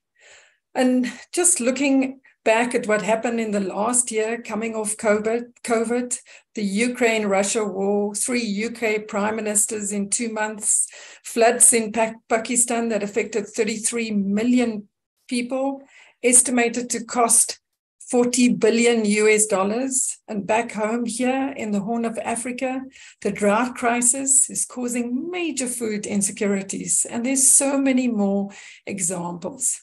So truly, we currently live in a world that is struggling and that desperately needs resilience thinking to deal with all the crises. And let's and, and we need to commit to each other that we will never give up and continue to build back better. And I'm sure you'll all agree with me that there were many learnings today.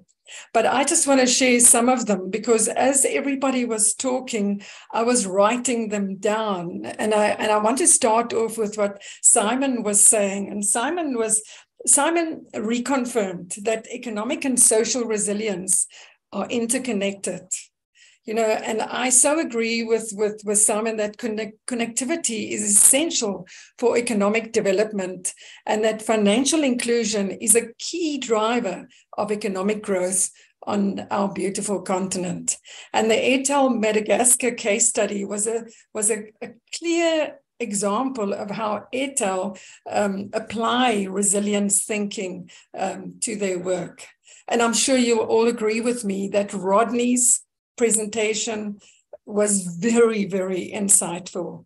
And, and, and the fact that he reiterated that we need, need a major system change is what we as shared value advocate all the time. It is about creating equality in the most sustainable way. He also said that in, and, and, and I think we all know that because we've seen it at COP27, that in spite of knowing that climate change is a major crisis, we're still not accelerating our resilience thinking. In, and what is clear from Rodney's um, address is that we cannot just produce, produce, and consume, consume, because we need to recycle and, and reuse. And Rodney also spoke about this mindset shift and reinventing capitalism where we reward, and I love this what, about what he said, is where we reward value creation and not value extraction. However, we need the courage and the boldness to make the change we need. And we need to challenge our current thinking. And in order to transform, we need, and I think he had this, this beautiful triangle that he showed to us that we need a mindset shift, we need system thinking, and we need a shared, a shared vision. And, and, and that we also need a form of ca- capitalism that that pursue true value. So so so Rodney had an amazing presentation, and I think if you came on late, you must watch the the actual recording. And then I want to say to Adun, Tendai, Agatha, and Ashvin, I don't know if I'm going to do justice to what a really informative panel discussion you had. Thank you for focusing on food security and energy. Uh, because those are two of, of, of our biggest challenges that we have at the moment on the Africa continent. We need to make energy more accessible, especially to those that are marginalized. And Tendai, thanks for reiterating that partnerships are important.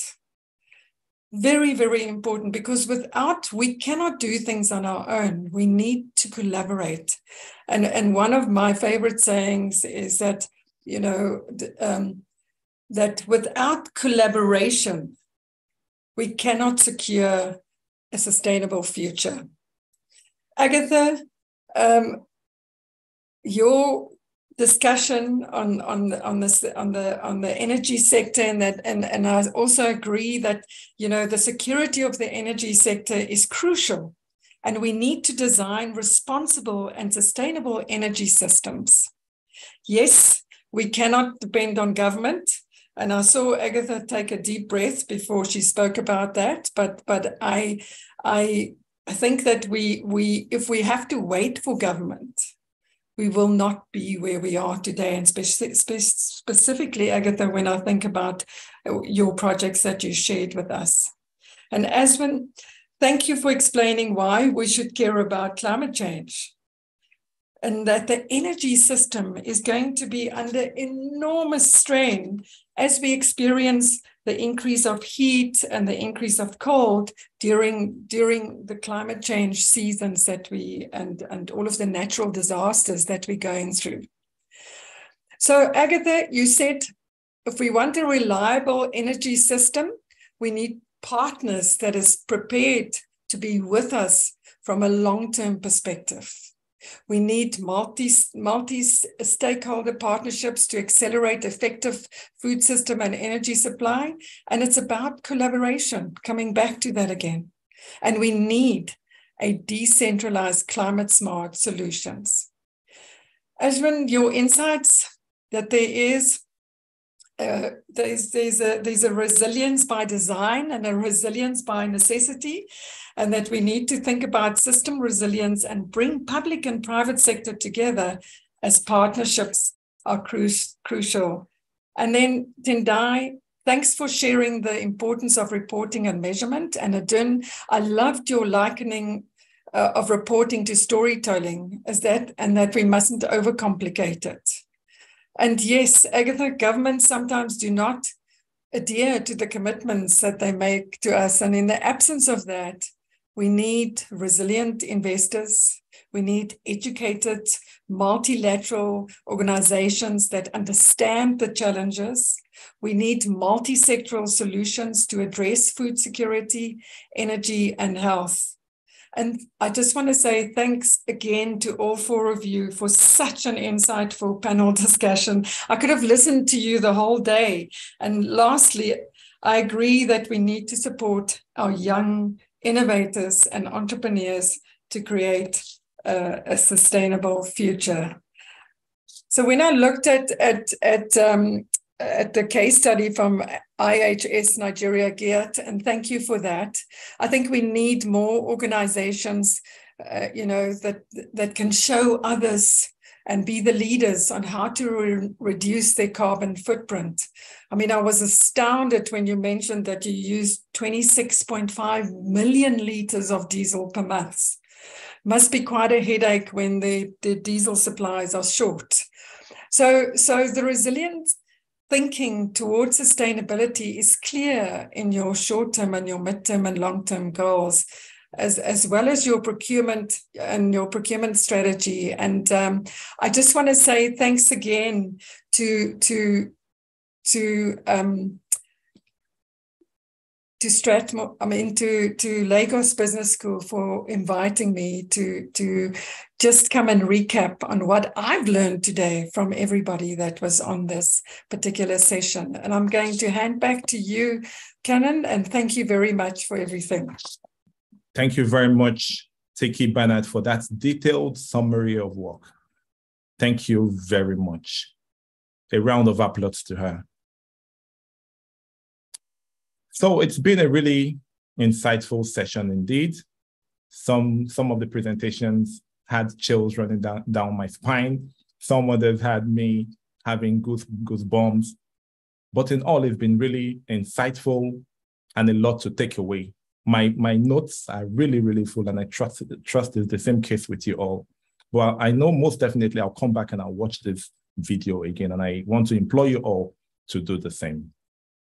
At this point, at this juncture, we'll call on our very own head of sustainability in Lagos Business School Sustainability Center, Oreva Atanya, to give us the closing remark and vote of thanks. Over to you, Oreva.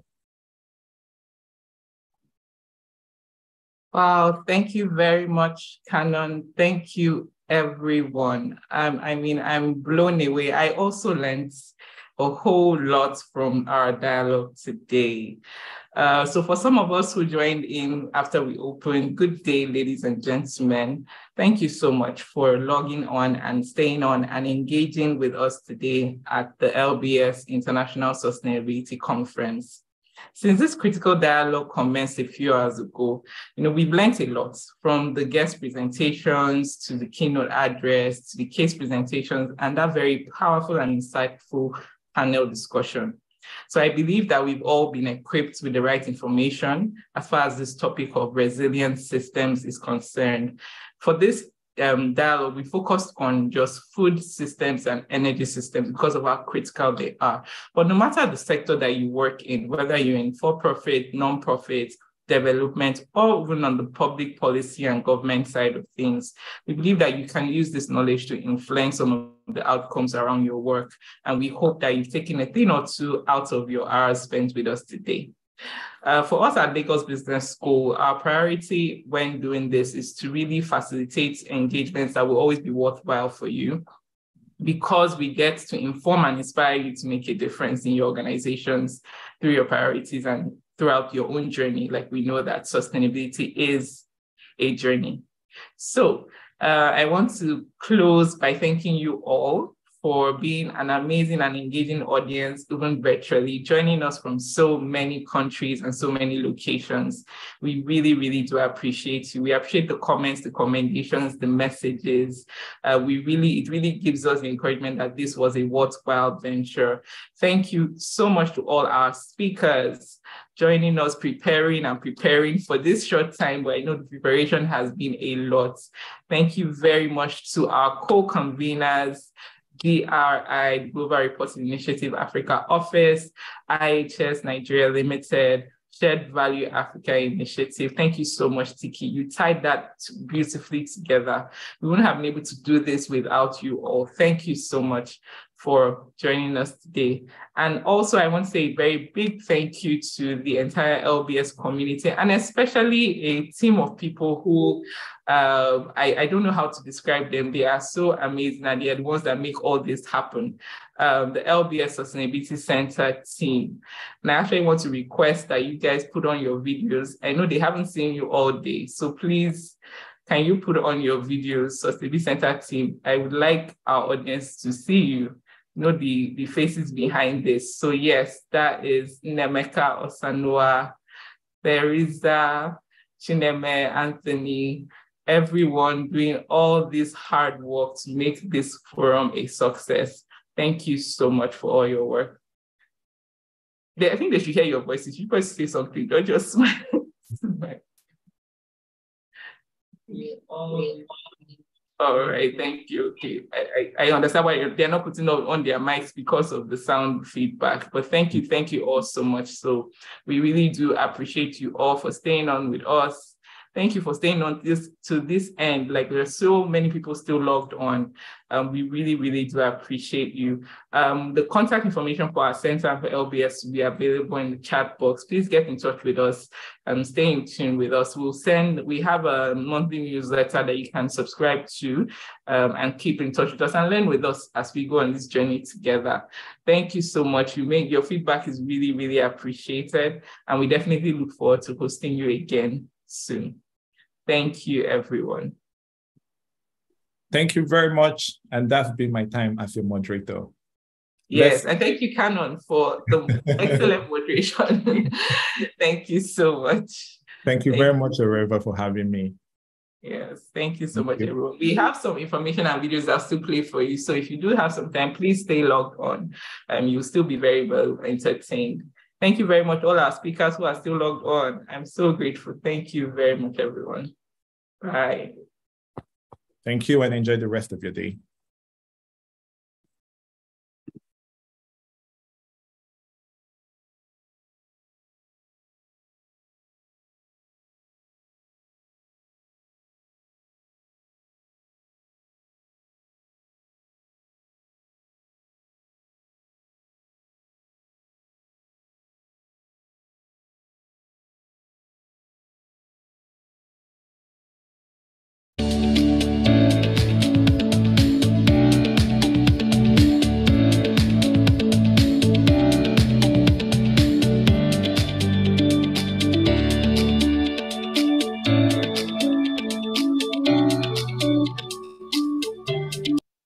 Whether it's mitigating the effects of climate change, giving everyone access to clean water, or ensuring that no child is forced to go to work instead of going to school, there's so much more we need to do to create a sustainable global economy. At GRI, we believe companies and other organizations have a critical role to play in addressing these problems. That's why, in the late 1990s, we pioneered sustainability reporting. Sustainability reporting is an organization's practice of publicly disclosing its broader economic, environmental, and social impacts. The GRI Sustainability Reporting Standards are the first global standards for sustainability reporting. They feature disclosures on a wide range of topics, such as energy use, diversity in the workplace, anti corruption, and human rights, to name only a few. As a result, any organization can use the GRI standards to increase transparency with all of their stakeholders. This is the first step in transforming our global economy into one that's sustainable and inclusive. Reporting with the GRI standards can help you protect the environment and improve society while thriving economically. What's more, sustainability reporting can create a range of benefits for your organization, helping you improve stakeholder relations, enhance your reputation, and build trust. At GRI, we also offer engagement opportunities that can enhance those benefits. We support organizations throughout their reporting journeys. We set up training programs that explain how to establish a sustainability reporting process, and we offer services that help ensure reports are aligned with the GRI standards. Organizations can also join the GRI Gold community, and connect with peers to develop solutions to shared challenges. And GRI also works with governments to promote smart sustainability policies and regulations around the world. For example, you can use GRI standards to show your contributions to the UN Sustainable Development Goals and to fulfill your reporting requirements under the EU Directive on Non Financial Reporting. We also offer guidance on the alignment between GRI standards and other reporting efforts and international norms. So when you choose to use GRI standards, you're joining a global effort to contribute to sustainable development. At GRI, we're working towards a future where all organizations use transparency to transform our world into one where we create wealth for everyone while preserving the resources that drive our economies. Help us make this vision a reality. Positive change and sustainable growth are within our reach. At IHS Towers, our mantra is simple better connections mean better opportunities. We provide a critical communications tower infrastructure that enables millions of people across emerging markets to stay connected. We champion economic growth and social development. We're generating long term impact through targeted sustainability programs. We harness the power of connectivity to deliver real change. Sustainability is in our DNA. Sustainability is fundamental to IHS. In its simplest form, our business model is inherently sustainable through our promotion of infrastructure sharing. IHS Towers facilitates connectivity. Consider the opportunities for a small village in Nigeria or Cameroon or even Brazil once it has digital connectivity healthcare, employment, and education, all now within reach. Nigeria is where the IHS story began, and we are privileged to have played a part in its economic development through the provision of mobile connectivity. Although IHS has only been operational in Latin America since 2020, growth has been rapid and sustainability top of the agenda since day one. The programs and initiatives delivered in Africa had a significant impact and socio-economic uplift on their local communities. And I'm proud to emulate this for our local communities here in Brazil. Our communities are integral, and we are building our network of partners to deliver real change for their benefit. It's a fantastic privilege for us here at UNICEF to work with IHS here in Nigeria. We're trying to ensure that child rights is part and parcel of those communities. And how we work together is to see if we can get community to community connectivity and then obviously school to school connectivity as well.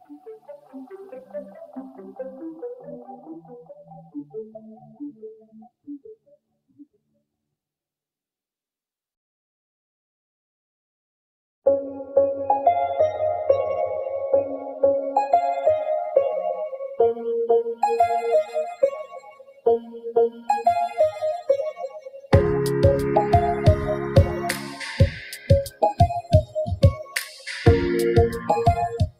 Well, it gives me very great pleasure to welcome you to the International Sustainability Conference. Today, I was asked to come and share what the company is doing in the space of sustainability when it comes to plastic recycling and so forth. Um, the goal was to highlight three things.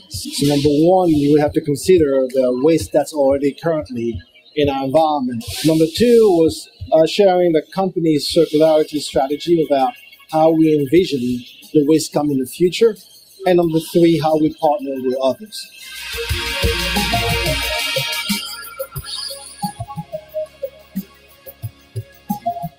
But we all know that SME is a bedrock of the economy. So if we don't have sustainable and affordable electricity for even the SMEs, we will have huge energy poverty in the country. Sustainability is the way forward you know, and that's a way to really protect our planet from the projected catastrophic effect of the climate and the planet. It's been an interesting conference because the topic innovation is something that most people, uh, we talk about it, but we don't actually know what it means for many people. But to come to a conference whereby the practicalities of innovation and sustainability are really addressed by professionals in their field with very clear examples, it's actually quite important.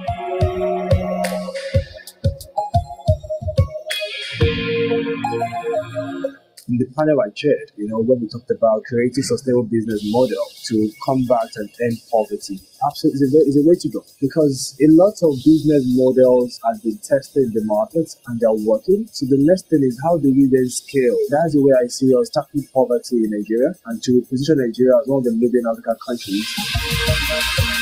We want to see how companies who are operating here can focus on the bottom of the pyramid, but actually realizing that by practicing sustainability effectively in that sector, they can still grow the business and make money. The conference is really a, an opportunity for in, for people involved in sustainability across the spectrum to come together, to um, network, to pick up new ideas of how to drive sustainability in our world today. But thank you very much for honoring us with your presence. We're very grateful to the partner for this forum, Dow Chemicals, for supporting LBS Sustainability Center, to all our speakers and panelists for joining us today, even traveling from far distances. We're very grateful to you.